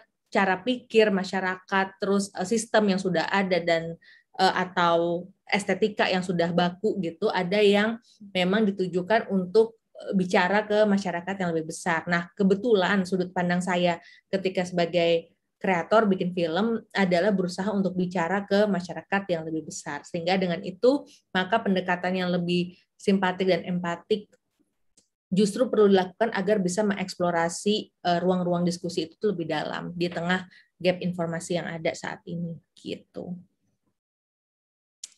Nah, eh, untuk mudah-mudahan udah jelas ya Mbak ya. Terus uh, yang pertanyaan nomor dua soal strategi yang baik untuk menanamkan kesetaraan di industri film sama tantangan. Kalau dalam industri film saat ini, tentu pertama-tama adalah semua orang yang punya kegelisahan yang sama tuh harus bergabung sih membuat membuat aliansi gitu baik yang perempuan ataupun laki-laki ataupun uh, di di gender mana pun dia mendefinisikan dirinya gitu. Ketika kita punya kesadaran yang sama, maka akan lebih uh, mudah untuk bicara dan saling uh, me, mem, membuat standar di setiap sistem kerjanya masing-masing. Misalnya ketika saya mau masukkan soal di dalam kontrak ada soal uh, uh, pasal anti pelecehan seksual itu yang saya saya awalnya contoh tentu dari Mbak Mira Lesmana sama Tehnia yang lebih dahulu masuk dan terjun sebagai produser. Tapi ketika saya berusaha untuk menerapkan in, uh, infografis, fakta integritas dan lain-lain, akan lebih strategis kerjanya ketika saya beraliansi dengan Star Vision, salah satu studio paling besar di Indonesia, sehingga bisa diterapkan di berbagai produksi dia di tempat-tempat yang lain gitu. Jadi nggak jadi ada sustainability nggak cuma berhenti gitu aja. Nah tantangannya adalah tentu karena uh, sepanjang in, sepanjang film dari pasca reformasi ini tuh nggak semua orang ketika industrinya makin besar, semakin banyak yang terlibat, nggak semua orang tuh punya concern yang sama soal isu ini. Apalagi industri film mau di mana pun di dunia ini tuh emang sistemnya tuh hierarkis memang ada di ketika apalagi ketika di lapangan memang ada kaptennya lah dalam quote and quote si sutradara yang akan menjadi pijakan bagaimana semua orang bekerja di uh, produksi yang sifatnya masif yang minimal aja ada sekitar seratusan orang dalam satu waktu gitu dan nggak semua orang tuh kita kenal satu sama lain secara pribadi. Nah dengan tantangan yang kita harus terlibat dengan berbagai macam orang dan uh, tingkat pendidikan, pemahaman gender dan lain-lain, akhirnya yang ya payung hukum dengan kontrak dan pas uh, fakta integritas dan infografis yang terus menerus diingatkan itu dan ketika punya, mereka melakukan hal baik itu ada reward dari para uh, pemimpin yang ada di uh, lokasi gitu baik sutradara uh, kepala divisinya atau produser yang ada di lokasi maka tuh akan jadi sistem yang uh, biasa di uh, mereka lakukan gitu jadi bisa karena terbiasa. Nah, yang ketiga tentu adalah menggandeng pihak-pihak yang bisa menyuarakan concern ini secara lebih luas. Ya, ya, di sinilah peran media gitu. Di sinilah pesan uh, peran uh, brand misalnya kayak The Body Shop gitu yang emang concern soal isu-isu seperti ini gitu. Ketika kita bisa menggandeng mereka, maka uh, daya kita bisa memanfaatkan sistem influencer ini untuk bisa mempengaruhi lebih banyak orang bahwa ini tuh concern yang perlu dibela dan bisa diterapkan dan jelas kok cara menerapkannya seperti apa.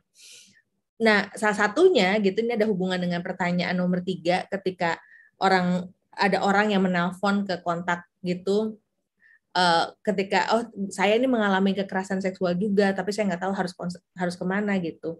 Salah satunya ketika kami gitu sharing di sosial media soal uh, info, infografis ini sama fakta integritas uh, banyak juga teman-teman dari med, uh, lintas bidang gitu merasa terinspirasi dengan adanya si infografis ini yang lebih mudah dimengerti uh, definisinya jelas clear dan ketika ditempel baik misalnya di perkantoran atau di ruang kantin karyawan gitu ketika terus diingatkan tuh mas jadi bisa punya kesadaran lah bisa jadi contoh baik yang dibangun bersama gitu. Nah, tapi memang tantangannya selain uh, masalah orang-orang yang masih cuek ini adalah banyak produser yang masih bingung kita harus cantumin kontaknya siapa ya di infografis itu gitu atau kalau ada pengaduan tuh harus ke siapa. Kebetulan kalau di wahana kreator karena memang kita concern mudah gitu keputusan untuk menaruh nama si Amelia di situ gitu. Cuman Eh, nggak uh, semua orang paham. Nah, akhirnya ketika ada or, di makanya ketika di PH-PH lain ada infografisnya tapi nggak ada pengaduannya gitu nggak ada nomor pengaduannya sehingga mungkin kami ingin mencoba bekerja sama dengan pihak-pihak lain yang mungkin nih misalnya apakah bisa kerja sama dengan Justika gitu atau ke LBH perempuan gitu Komnas Perempuan untuk bisa uh, mencantumkan nomor mereka juga di dalam uh, infografis tersebut gitu. Dan begitu juga ketika ada yang mengontak ke kami, yang kami lakukan adalah memberitahu mereka untuk ke apa apa sih yang dibutuhkan pada saat ini gitu. Misalnya eh, nanya ke korban pada saat itu eh, mereka tuh domisilinya di mana. Jadi harus ke Polres mana sih? Karena kalau dari pengalaman kami misalnya ada polisi ke Polis Polres di Tangerang Selatan tuh ternyata Eh, nggak siap menghadapi kasus kekerasan dibandingkan dengan uh, polisi di daerah Wijaya gitu yang lebih terbiasa gitu uh, bidang apa uh, pengaduan uh, kekerasan perempuan gitu mereka sudah terbiasa menghadapi nah jadi kita perlu ngasih informasi itu terus kemudian LBH mana aja yang bisa dihubungi dan seandainya butuh bantuan uh, psikolog gitu, psikologis, maka kita ngasih juga nomor kontaknya Yayasan Pulih yang kebetulan kita juga udah kerjasama di beberapa development cerita. Kurang lebih kayak gitu sih. Baik, terima kasih Mbak Gina. Uh, silakan Bang Riston untuk merespon pertanyaan tadi. Yang, yang pertama itu, waduh, kebetulan saya bukan ahli agama ya, jadi agak repot ya. Tapi buat saya itu agama itu bukan berurusan dengan yang di atas saja, tapi juga dengan sesama, dengan kiri kanan, samping kita, kanan kita, dan uh, itu saja sebenarnya. Menghargai, menghormati orang, sama seperti kita menghormati kita diri kita sendiri, kita menghormati orang lain, menghargai orang lain. Nah, dalam pemberitaan tentu saja ada elemen dari keyakinan atau penafsiran orang terhadap agama ketika menulis. Cuma buat saya dan buat jurnalis sebenarnya bukan buat saya buat jurnalis semuanya adalah ketika menulis berita maka faktual akurat seimbang. Sederhana itu saja. Bukan pemikiran kita bukan interpretasi kita. Terbuka kemungkinan buat kita untuk menginterpretasikan sesuatu berdasarkan ajaran agama kita. Bikin for bikin kolom bikin opini rubrik opini rubrik kolom itu ada kok di di di, di koran itu kan ada kan? Jurnalis jadi jurnalis bisa menyampaikan opininya Anda pun bisa menyampaikan opini di koran kan ada rubrik kolom. Nah di situ memang dia terbuka terhadap bahwa orang tahu bahwa ini penafsiran Anda gitu loh. Ini uh, adalah sebuah tafsir Anda terhadap sebuah peristiwa berdasarkan keyakinan bukan hanya keyakinan agama mungkin juga keyakinan sosial keyakinan politik. Tapi ketika menulis berita ya apa boleh buat karena media kita ini media umum media luas pembacanya bukan hanya Eh, media apa pembaca eh, yang beragama A, beragama B, beragama C. Mungkin beda dengan misalnya kalau eh, bikin buletin agama, buletin gereja, buletin masjid, mungkin agak beda dikit ya. Tapi kalau koran ya itu faktual akurat seimbang menurut saya dan uh, kalaupun memang ada keyakinan itu ya dibuat di sebuah kolom, sebuah pendapat opini supaya jelas. Yang kedua tadi pertanyaan kedua tentang apa yang dilakukan jurnalis itu ya. Banyak kok jurnalis yang mau mau peduli dalam proses proses. Saya pun eh, dan beberapa orang di media Tempo, di media Kompas, di media BBC sering ikut seminar dalam proses untuk memahami ini kesetaraan masalah kesetaraan gender ini terus berkembang juga yang kita kira tadi oh sudah sudah beres dengan misalnya uh, jumlah uh, 40 anggota parlemen laki-laki, 40 anggota parlemen perempuan, kita kita sudah beres. Tapi enggak, ada juga soal gaji. Di BBC tahun lalu itu ribut soal gaji. Bahwa bagaimana presenter perempuan ternyata gajinya lebih kecil dari presenter laki-laki. Walaupun sama-sama presenter. Ada lagi masalah baru yang muncul.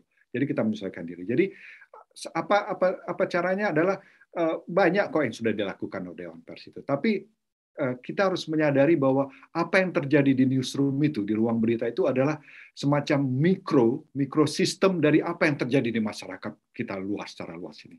Kita masih punya bayi budaya patriarki, kadang-kadang newsroom itu masih seperti itu juga kok. Wartawan tuh masih berjuang, ketika dia menulis berita, belum tentu langsung diterbitkan oleh editornya. Aduh, ini jangan beginilah, beginilah gitu loh. Jadi, jadi uh, saya saya melihatnya bahwa kita punya kemampuan, pembaca punya kemampuan untuk mempengaruhi itu. Tapi apa yang dilakukan oleh jurnalis, saya sebagian apa yang disebut dengan media profesional itu sudah melakukannya dengan bantuan Dewan Pers, dengan bantuan LBH API, LBH Masyarakat, dengan bantuan eh, apa namanya eh, AJI, juga PWI, banyak kok yang sudah peduli. Tapi butuh waktu yang panjang saya pikir karena apa yang terjadi di di ruang redaksi itu kira-kira cerminan apa yang terjadi dalam kehidupan kita sehari-hari. Kira-kira seperti itu ya. Dan yang ke satu lagi soal hak jawab, hak koreksi tadi ada sudah dari Dewan Pers yang saya kasih formulirnya, kasih ke Dewan Pers. Eh, dan Mbak Cica tadi sudah menjelaskan bagaimana hak jawab hak koreksi. Saya berpendapat, menyarankan, kalau Anda dapat berita sebuah yang kurang bagus di media, kirim ke medianya, nggak usah tunggu dia nggak membalas seminggu apa enggak, langsung kirim juga ke Dewan Pers jadi secara bersamaan lebih aktif dia. Karena kalau kita tunggu nanti kita nggak tahu kapan, apakah mereka menanggapi. Kadang-kadang media terlalu sibuk untuk menjawab email Anda sudah keterima, paling cuma otomatis doang reply-nya kan. Nggak ada salahnya dua jalur bersamaan. Nggak melanggar hukum, nggak melanggar undang-undang ITE kok itu. Ya, tapi kalau tadi seperti Mbak Cica bilang, untuk proses hukum, kalau hak jawab hak koreksi sudah tidak ditanggapi, baru pergi ke proses hukum.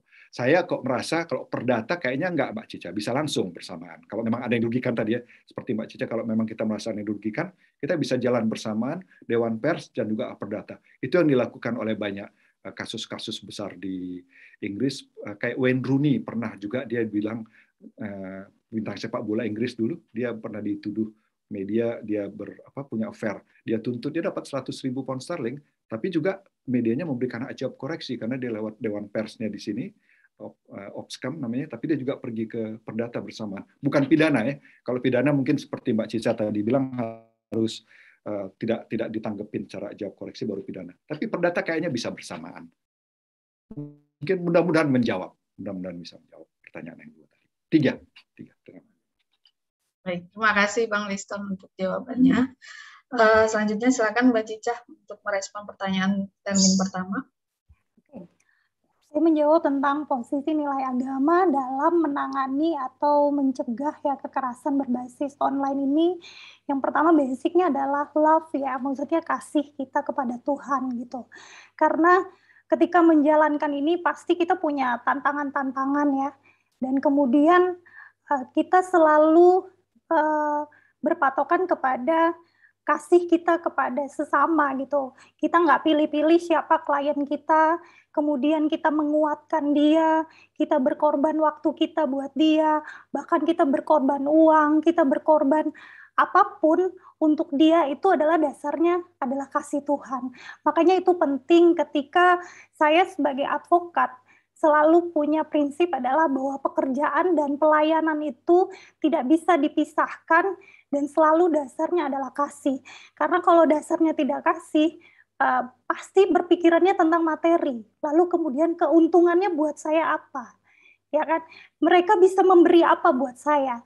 Tetapi ketika kita tahu bahwa kasih Tuhan itu begitu besar buat kita, maka kita bisa share itu melalui apa yang kita bisa, melalui profesi kita, melalui pekerjaan kita. Kadang-kadang saya juga memisahkan, ada waktu saya berbicara kepada mereka, jangan lihat saya sebagai pengacara. Lihat saya sebagai sahabat kamu, sebagai kakak kamu, sebagai keluarga kamu yang kamu bisa percaya, dan dia akhirnya nyaman untuk bercerita kepada kita. Dan kemudian adalah menguatkan dia. Karena orang yang menjadi korban ini sering kali mengalami ketakutan yang berlebihan, depresi yang berlebihan. Di situlah nilai-nilai agama kita masuk gitu. Eh, sesuai dengan agamanya, kamu harus banyak berdoa, kamu harus banyak sholat, kamu harus banyak uh, meluangkan waktu kamu untuk uh, berhubungan dengan Tuhan secara intim, sehingga itu menguatkan kamu untuk kamu nanti bisa percaya diri melaporkan ini. Kamu jangan takut manusia, tapi kamu takut Tuhan. Jadi itu yang selalu kita tanamkan kepada korban, begitu juga yang saya tanamkan kepada diri saya. Kami sebagai advokat juga mengalami tantangan-tantangan. Pernah kita dibuntutin, ya kan? Kemudian uh, dicari-cari berita tentang kita, mungkin kita mengalami juga ancaman-ancaman. Hanya saja ketika kita takut, saya selalu berpikir bahwa saya nggak takut manusia, saya takut Tuhan. Saya percaya bahwa kita yang ditempatkan dan kita yang peduli terhadap orang-orang yang lemah, maka Tuhan akan melindungi kita. Nah, itu paling penting bagaimana prinsip nilai-nilai agama itu masuk juga menjadi dasar atau prinsip kita dalam bekerja dan melayani. Oke, terima kasih. Baik, terima kasih Mbak Cica. Semoga jawaban dari para narasumber untuk uh, pertanyaan dari para peserta di termin pertama uh, itu sudah uh, disimak dan dicatat dengan baik, gitu ya. Uh, kemudian uh, saya izin uh, Bang dan Mbak sekalian untuk masuk pertanyaan ke termin kedua. Uh, ini izin membacakan ada tiga pertanyaan lagi-lagi uh, ditujukan kepada Bang Liston, Bang. Uh, yang pertama itu pendapat Abang tentang adanya oknum pers yang uh, secara diam-diam melakukan uh, mengambil foto dan kemudian memviralkan sebuah produk tanpa adanya proses sensor begitu ya dan sehingga uh, kelemahan-kelemahan produk tersebut akhirnya tersebar. Nah, apakah hal tersebut bisa diadukan ke Dewan Pers? Itu yang pertama, itu dari Mas Damar. Yang kedua dari Mbak uh, Zaina.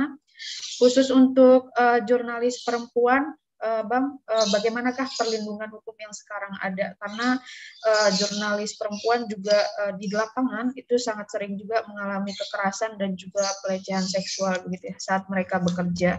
Itu dari Mbak Zaina dan kemudian yang ketiga ini dari uh, anonim Bang. Uh, yang ingin ditanyakan itu sebenarnya ada nggak kewajiban jurnalis untuk melakukan investigasi dan verifikasi terlebih dahulu terhadap eh, kasus-kasus uh, yang syarat dengan KBGO.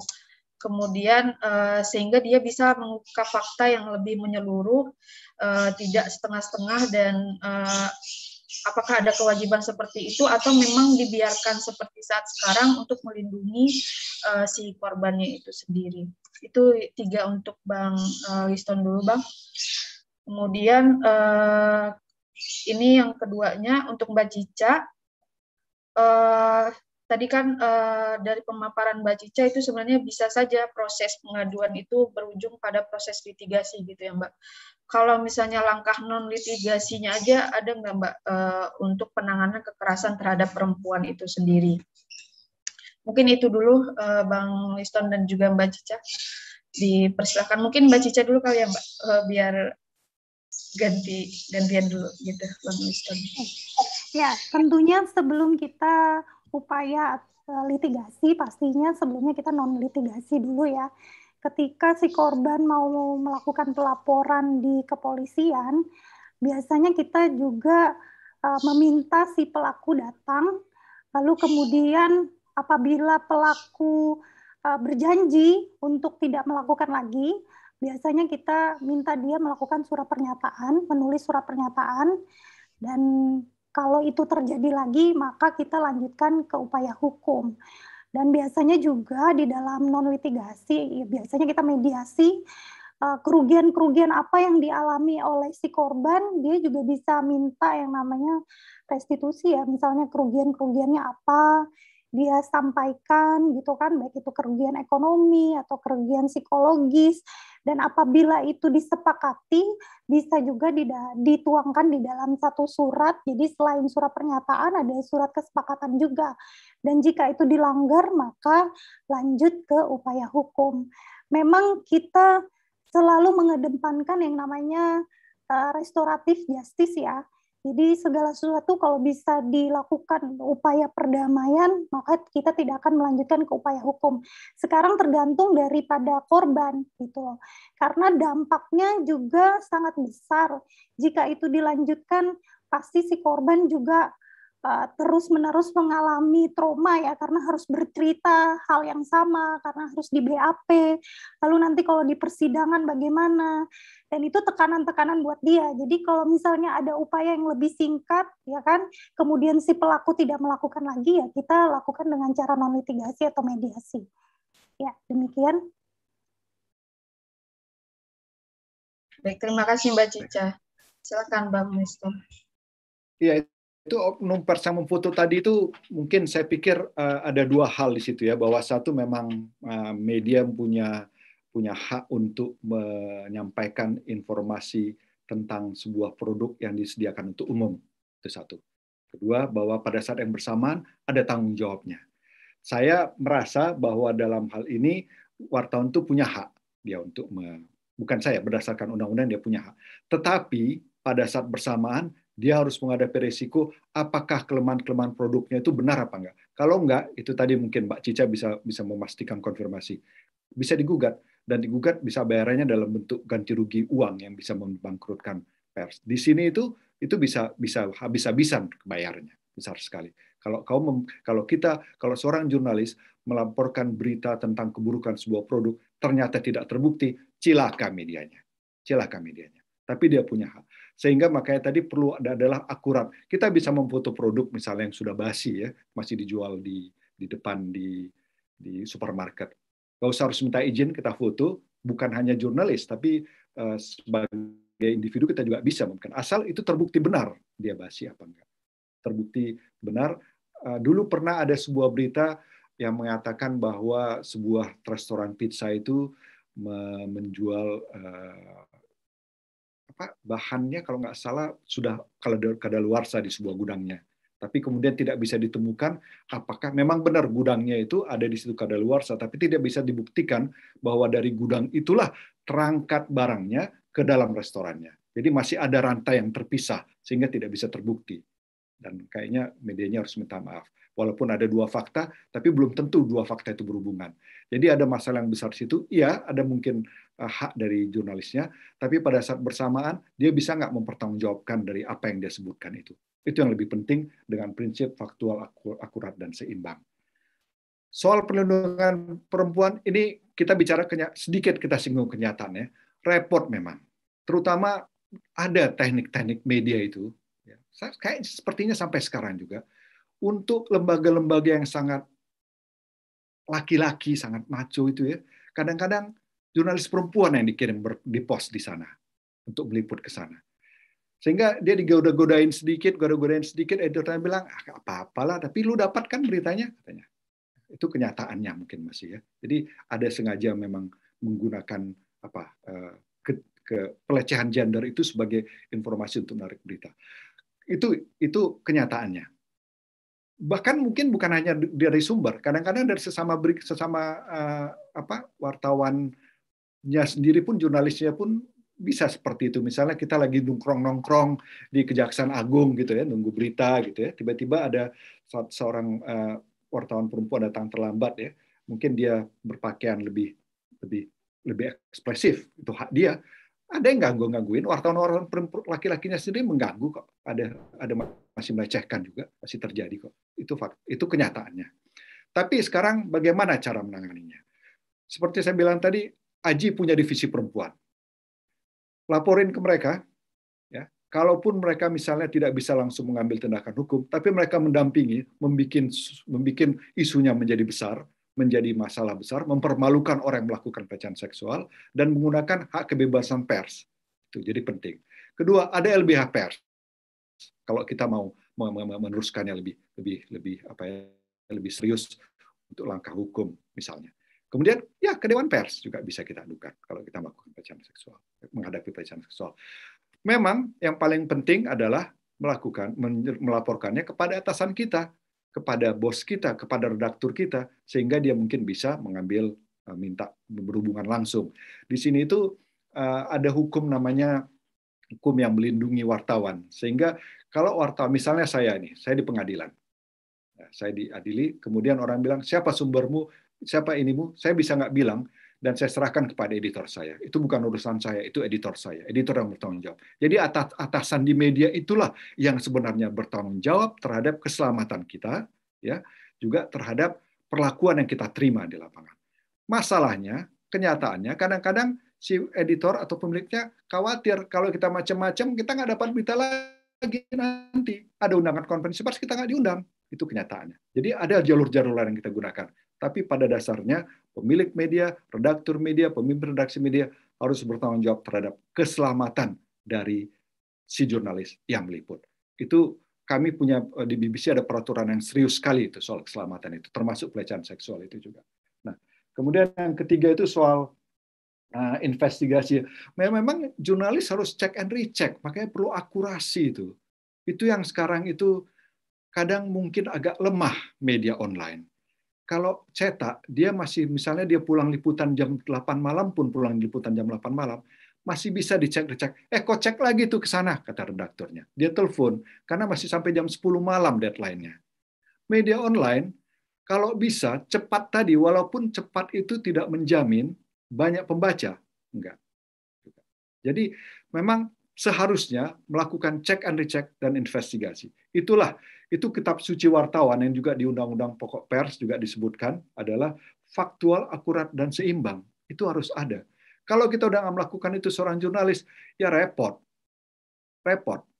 Kalau kita cuma bikin satu baru lihat satu langsung bikin ya repot karena ini ada ada soal soal untuk tanggung jawab kepada kepada pembaca kepada subjek beritanya juga ya seperti kita bilang tadi korban kekerasan perempuan direvictimisasi lagi gara-gara tidak ada perspektif kesetaraan gender itu jadi saya melihat yes harus investigasi dan dicek tapi kedua seperti yang bilang Mbak Cica tadi speak up mulailah apa yang dulu tidak ada bukan berarti tidak akan ada seterusnya. Apa yang dulu tidak terjadi sekarang bisa kita lakukan pelan-pelan dan kita lakukan. Terlalu optimis, tapi saya pikir ya itu terjadi kok. Terjadi di banyak di banyak isu dan di banyak tempat di dunia. Baik, terima kasih banyak Bang Liston atas jawabannya dan juga Mbak Cica. Uh, saya izin uh, Bang dan Mbak, ini mungkin uh, pertanyaan termin ketiga yang ingin saya bacakan sebelum nanti ada uh, pembacaan kesimpulan dan juga penutup. Uh, izin ya Bang, ini kebetulan uh, tiga pertanyaan terakhir ini ditujukan kepada Bang uh, Liston lagi. Di Bang yang pertama itu uh, sosial media itu kan sangat luas ya Bang. Sekarang-sekarang itu sangat marak juga uh, influencer atau masyarakat itu menggunakan kanal YouTube. Nah, uh, bagaimana Bang uh, untuk konten-konten yang tidak baik yang disiarkan melalui YouTube kayak adanya konten prank dan lain sebagainya, apakah itu bisa uh, dilaporkan juga ke Dewan Pers? Itu yang pertama Bang, itu dari Mas Sandi. Kemudian yang kedua ada dari Mbak Setia Ningsi, ini kepada Bang Liston juga. Pertanyaannya adalah uh, karena memang kita hidup di dunia yang uh, patriarkinya sangat kuat gitu ya bang bagaimana cara uh, mengedukasi orang lain di lingkungan kita termasuk perempuan itu sendiri bang terkait dengan kesetaraan gender. Karena uh, di dalam uh, praktiknya perempuan itu sendiri juga menjadi agen dalam tanda kutip yang nyinyir kalau kita mau kasih edukasi tentang kesetaraan gender itu sendiri. Dan uh, kemudian yang ketiga bang uh, itu uh, dari anonim uh, apakah pelaporan uh, pelanggaran kode etik yang dilakukan oleh jurnalis itu uh, ada batas waktunya karena uh, kalau ada batas waktunya itu uh, sering kali digunakan Dewan Pers untuk tidak merespon uh, laporan yang disampaikan oleh masyarakat. Mungkin sekian, Pak. Terima kasih banyak.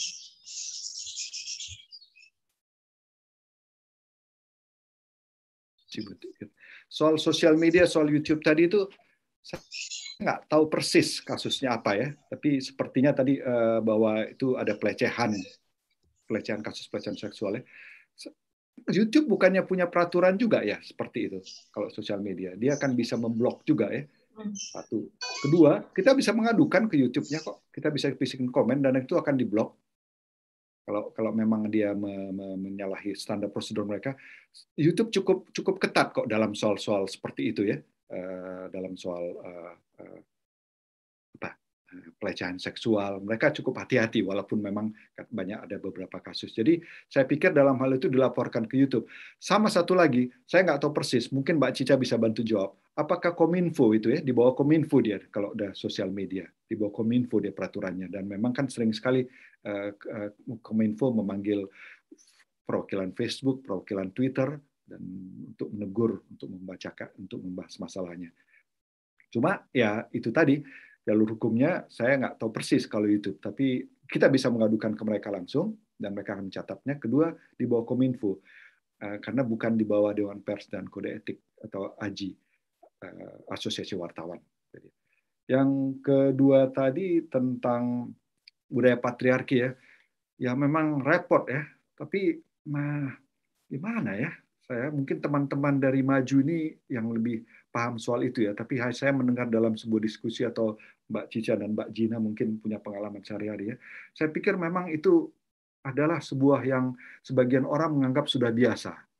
Saya pernah ikut lagi juga dalam uh, diskusi maju tentang uh, kekerasan berbasis gender itu ya. Banyak orang yang nggak mau mengadukannya karena nanti dipukul lagi, malah ketahuan sama pelakunya tapi lantas dia harus keluar dari rumahnya dulu. Lantas eh, apa pesimismenya ada seperti itu ya. Cuma memang kayaknya melawan budaya ini nggak mudah gitu loh. Makanya mestinya media itu menjadi jembatan seperti yang tadi disebut sama Mbak Gina dan saya sebut juga walaupun tidak selalu menjadi jembatan sering menjadi jadi pagar terkungkung ya. Diperlukan perlukan banyak banyak banyak soal dalam dalam menghadapi budaya praktek ada apalagi perempuannya sendiri suka nyinyir kan? Tapi ada kok upaya-upaya pemberdayaannya. Dan uh, banyak kasus-kasus seperti di Papua dalam sebuah diskusi maju itu adalah ibu-ibu seorang ibu-ibu paralegal yang bilang nggak mau mereka ke polisi udahlah repot nggak usah kita nggak akan nggak akan kalah akan ini. Tapi dia bilang enggak kita coba kita coba. Akhirnya dia punya banyak kasus yang bisa dilaporkan ke polisi. Itu di Papua sana bisa bisa yang apa hubungan internetnya masih lemah, keterbukaan akses informasi masih kurang. Jadi memang budaya patriarki ini masih melekat di Indonesia dan apa boleh buat kita masih harus kerja keras untuk melakukannya dengan segala cara. Mudah-mudahan media membantu lebih sudah membantu tentunya beberapa media. Mudah-mudahan media lebih kuat lagi Eh, dalam membantu dan memberitakan kesetaraan gender. Kalau soal yang Dewan Pers itu, saya nggak tahu mas terus terang ada batas waktunya. Tapi mungkin seperti saran Mbak Cica tadi ya, begitu ada masalah, screen grab, tulis URL-nya, jadi kalaupun nanti memang lewat waktunya kita masih bisa kasih ke, ke Dewan Pers. Saya pikir Dewan Pers itu orang-orang bekas pers yang cukup punya punya keperhatian terhadap kemajuan pers mereka akan mau juga kok pada akhirnya untuk menerima sebuah fakta yang udah ada di depannya gitu ya, walaupun telat, misalnya ada batas waktu sebulan, masa sih mereka nggak mau? Ya. Dan kedua, itu tadi saya bilang, daripada menunggu medianya memberikan reaksi, kirim aja bersamaan. Nggak salah kok itu, nggak ada masalah. Kalau nanti udah dijawab, Dewan Pers, oh sudah kok, Dewan Persnya sudah menjawab. Kalau enggak, Dewan langsung ke Dewan Pers, nggak usah tunggu batas waktunya. Tapi tadi saya lupa menegaskan lagi yang Mbak Cica bilang, screen grab dan URL. Itu itu saya kira salah satu senjata yang paling penting ketika kita mengangkat sebuah masalah maupun mengadukannya mudah-mudahan menjawab. Tapi kalau enggak, eh, ada email saya editor@ceritanet.com. Kalau mau meneruskan lagi setelah diskusi ini, saya akan kasih email saya dan dengan senang hati kita bisa melanjutkan diskusinya.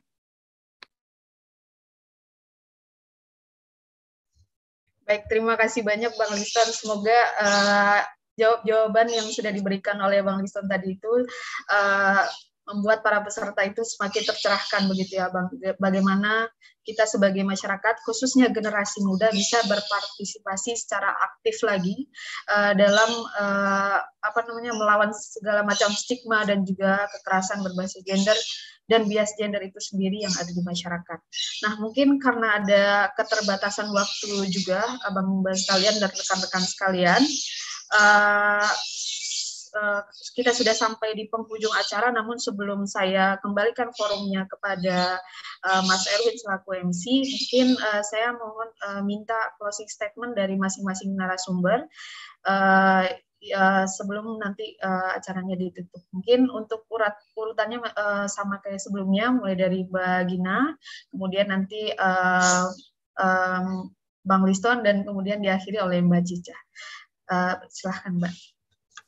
Uh, yang jelas terima kasih untuk teman-teman sudah diundang. Uh, saya belajar banyak sekali hari ini dan uh, ini memang dan mengutip tadi Bang Liston saya suka banget sama Mbak Cica tadi apa yang sudah apa yang belum ada belum tentu akan selamanya nggak ada gitu. Justru bisa kita ciptakan hal-hal baik mulai hari ini gitu. Semoga uh, menurut saya ketika isu sebesar ini akan uh, lebih baik ketika kita juga orang-orang baik yang ingin punya perubahan baik pula uh, bisa bekerja sama terus uh, membuat juga uh, selain kita menjaga dengan uh, hukum dan uh, peraturan gitu kita juga membuat cerita-cerita yang bisa uh, membuat masyarakat lebih paham bahwa ada kemungkinan yang bisa mereka perjuangkan, ada hal-hal baik yang bisa menjadi standar baru untuk mereka gitu. Dengan demikian uh, perjuangannya bukan gak kepisah tapi lebih terkoordinasi dan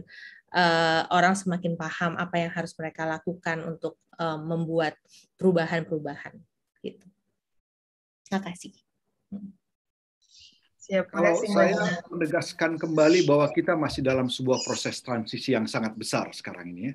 Eh, bukan hanya di sektor media, bukan dalam kehidupan sehari-hari, tapi dalam sebuah semua sektor. Kita berada dalam sebuah proses transisi yang besar sekali. Ada kemajuan yang tentu sudah dicapai di dalam media, dalam peliputan terhadap perempuan, dan itu kita lihat misalnya kerja-kerja AJI, kerja Dewan Pers, kerja pemerintah, Kementerian Perempuan, ada Jelas ada, nggak mungkin kita mengabaikan itu. Misalnya dulu kasus misalnya kayak hubungan intim antara video uh, intim itu tadi, mungkin dulu LBH Pers nggak terlalu belum dapat itu kan, belum dapat karena dia lebih pada kebebasan pers. Sekarang dia bikin statement yang cukup keras itu menurut saya, bagaimana pelanggaran media itu masif sekali. Jadi kita maju, maju. Tapi mungkin belum cukup. Itu dia yang saya katakan. Dan media juga dalam sebuah proses transisi yang lebih berat lagi berat sekali media ini. Banyak yang bangkrut. Kita nggak tahu aja bahwa di berapa ratus media di Amerika Serikat yang kebebasan persnya luas sekali, ratusan media tutup. Di sini kita lihat berapa? 43 ribu media online. Itu banyak yang gugur sebulan gugur. Banyak kok yang berapa berapa waktu gugur. Jadi kita dalam proses transisi. Tapi itu bukan berarti kita menjustifikasi apa yang terjadi. Justru dalam proses trans, transisi yang besar inilah kita berperan juga untuk membawa ke mana transisi itu perginya dengan kita punya kekuatan di media sosial. Jangan anggap remeh dengan media sosial. Ya, kuat sekali dan kemudian juga banyak keterbukaan lembaga-lembaga yang baru sekarang. Ah, koreksi saya Mbak Cica, ya, mungkin 15 tahun lagi, 15 tahun lalu namanya pengacara pro bono itu dikit sekali, saya pikir. Sekarang banyak sekali pengacara pro bono. Kalau nggak salah di ada di kode etiknya harus memberikan sekian persen untuk pro bono. Bayangin, sekarang ada itu. Kita bisa gunakan itu ya dalam proses transisi. Jadi peran kita juga kuat sekali dalam menentukan mau ke mana nih kita perginya nanti ini. mau belok kanan, mau belok kiri, atau terus saja yang kayak seperti puluhan tahun, ratusan tahun terkungkung di situ lagi. Dan sekali lagi, saya suka sekali selama Cica, speak up, kita punya senjata, ada sosial media, dan kita punya banyak bantuan di sekitar kita, LBH, NGO, banyak sekali. Baik, terima kasih Bang Ristot. Silakan Mbak Cica. Ya, uh, closing dari saya untuk menangani atau mencegah kekerasan berbasis gender, seperti tadi sudah disampaikan oleh Pak Liston, kita harus berani speak up, karena itu tidak hanya untuk diri kita sendiri, tapi juga untuk orang lain. Kemudian percayalah bahwa kita tidak sendiri, kami juga sebagai advokat yang khusus juga membela perempuan, kami akan selalu siap sedia untuk membantu siapa pun. Baik, terima kasih banyak, luar biasa. Terima kasih Mbak Gina, Bang Liston, dan Mbak Cica sekali lagi atas sharing yang sangat-sangat membuka wawasan kita pada pagi hari hingga siang hari ini. Semoga uh, beberapa pertanyaan yang sudah diajukan tadi terjawab. Namun apabila ada pertanyaan yang sifatnya mungkin lebih konsultasi, eh, teman-teman bisa langsung akses koneksi juga karena itu akan lebih pas juga.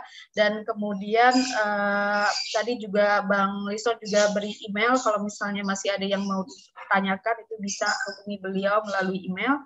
Dan uh, yang perlu saya ingatkan juga adalah tadi ada pertanyaan terkait dengan siaran ulang, teman-teman bisa uh, akses siaran ulangnya di YouTube Justika itu masih bisa. Nah, uh, saya selaku moderator uh, pamit undur diri uh, dari forum ini. Uh, saya mohon maaf atas segala kekurangan dalam uh, acara pada pagi hingga siang hari ini. Saya mengucapkan terima kasih banyak kepada para narasumber, peserta, dan juga para panitia. Uh, wabillahi taufik wal hidayah. Assalamualaikum warahmatullahi wabarakatuh. Silakan Mas Erwin. Baik, terima kasih sekali lagi kepada seluruh narasumber, Mbak Gina Esnur, Pak Liston Pesirigar, dan juga Mbak Cica yang telah sharing bersama-sama pada siang hari ini. Dan tentunya kepada Mbak Siska Trisia, terima kasih atas uh, kesempatannya sudah memandu acara sesi ini dengan baik dan lancar tentunya. Dan juga tentunya kepada seluruh peserta, terima kasih sekali atas antusiasnya terhadap diskusi kita. Semoga pada kesempatan kali ini kita dapat mengambil uh, intisari penting terkait dari Eh, kasus-kasus uh, yang tadi sudah disampaikan oleh para narasumber dan juga moderator kita pada siang hari ini. Baik Bapak Ibu sekalian, kami ingatkan sekali lagi kepada seluruh peserta untuk berkenan uh, mengisi feedback form yang telah kami bagikan linknya melalui chat box Zoom ini. Kami persilahkan Bapak Ibu sekalian untuk mengisi. Dan tentunya kami juga mengingatkan sekali lagi kepada Bapak Ibu agar dapat mengakses dan juga sharing website koneksi untuk mendukung tim kami agar dapat memberikan pelayanan yang lebih baik dalam memberikan edukasi maupun bantuan hukum khususnya bagi para perempuan di Indonesia. Kami sekali lagi mohon maaf apabila selama penyelenggaraan terdapat kekurangan. Akhir kata saya mewakili tim panitia penyelenggara webinar koneksi keempat Arun Samuel Ramli pamit undur diri dan sampai bertemu lagi pada kegiatan selanjutnya. Wassalamualaikum warahmatullahi wabarakatuh. Salam sejahtera bagi kita semua. Shalom, Om Santi, Santi, Santi Om. Namo Buddhaya, salam kebajikan, salam sehat, dan terima kasih. Terima kasih semuanya. Terima kasih semuanya. Terima kasih. Sehat-sehat semua ya. Mbak Cica, makasih ya. Ya, terima, terima kasih, kasih banyak. semuanya. Bye-bye. Sampai jumpa ya. Sampai jumpa. Sampai ketemu ya, Bang. Makasih ya, banyak, ya. Bang.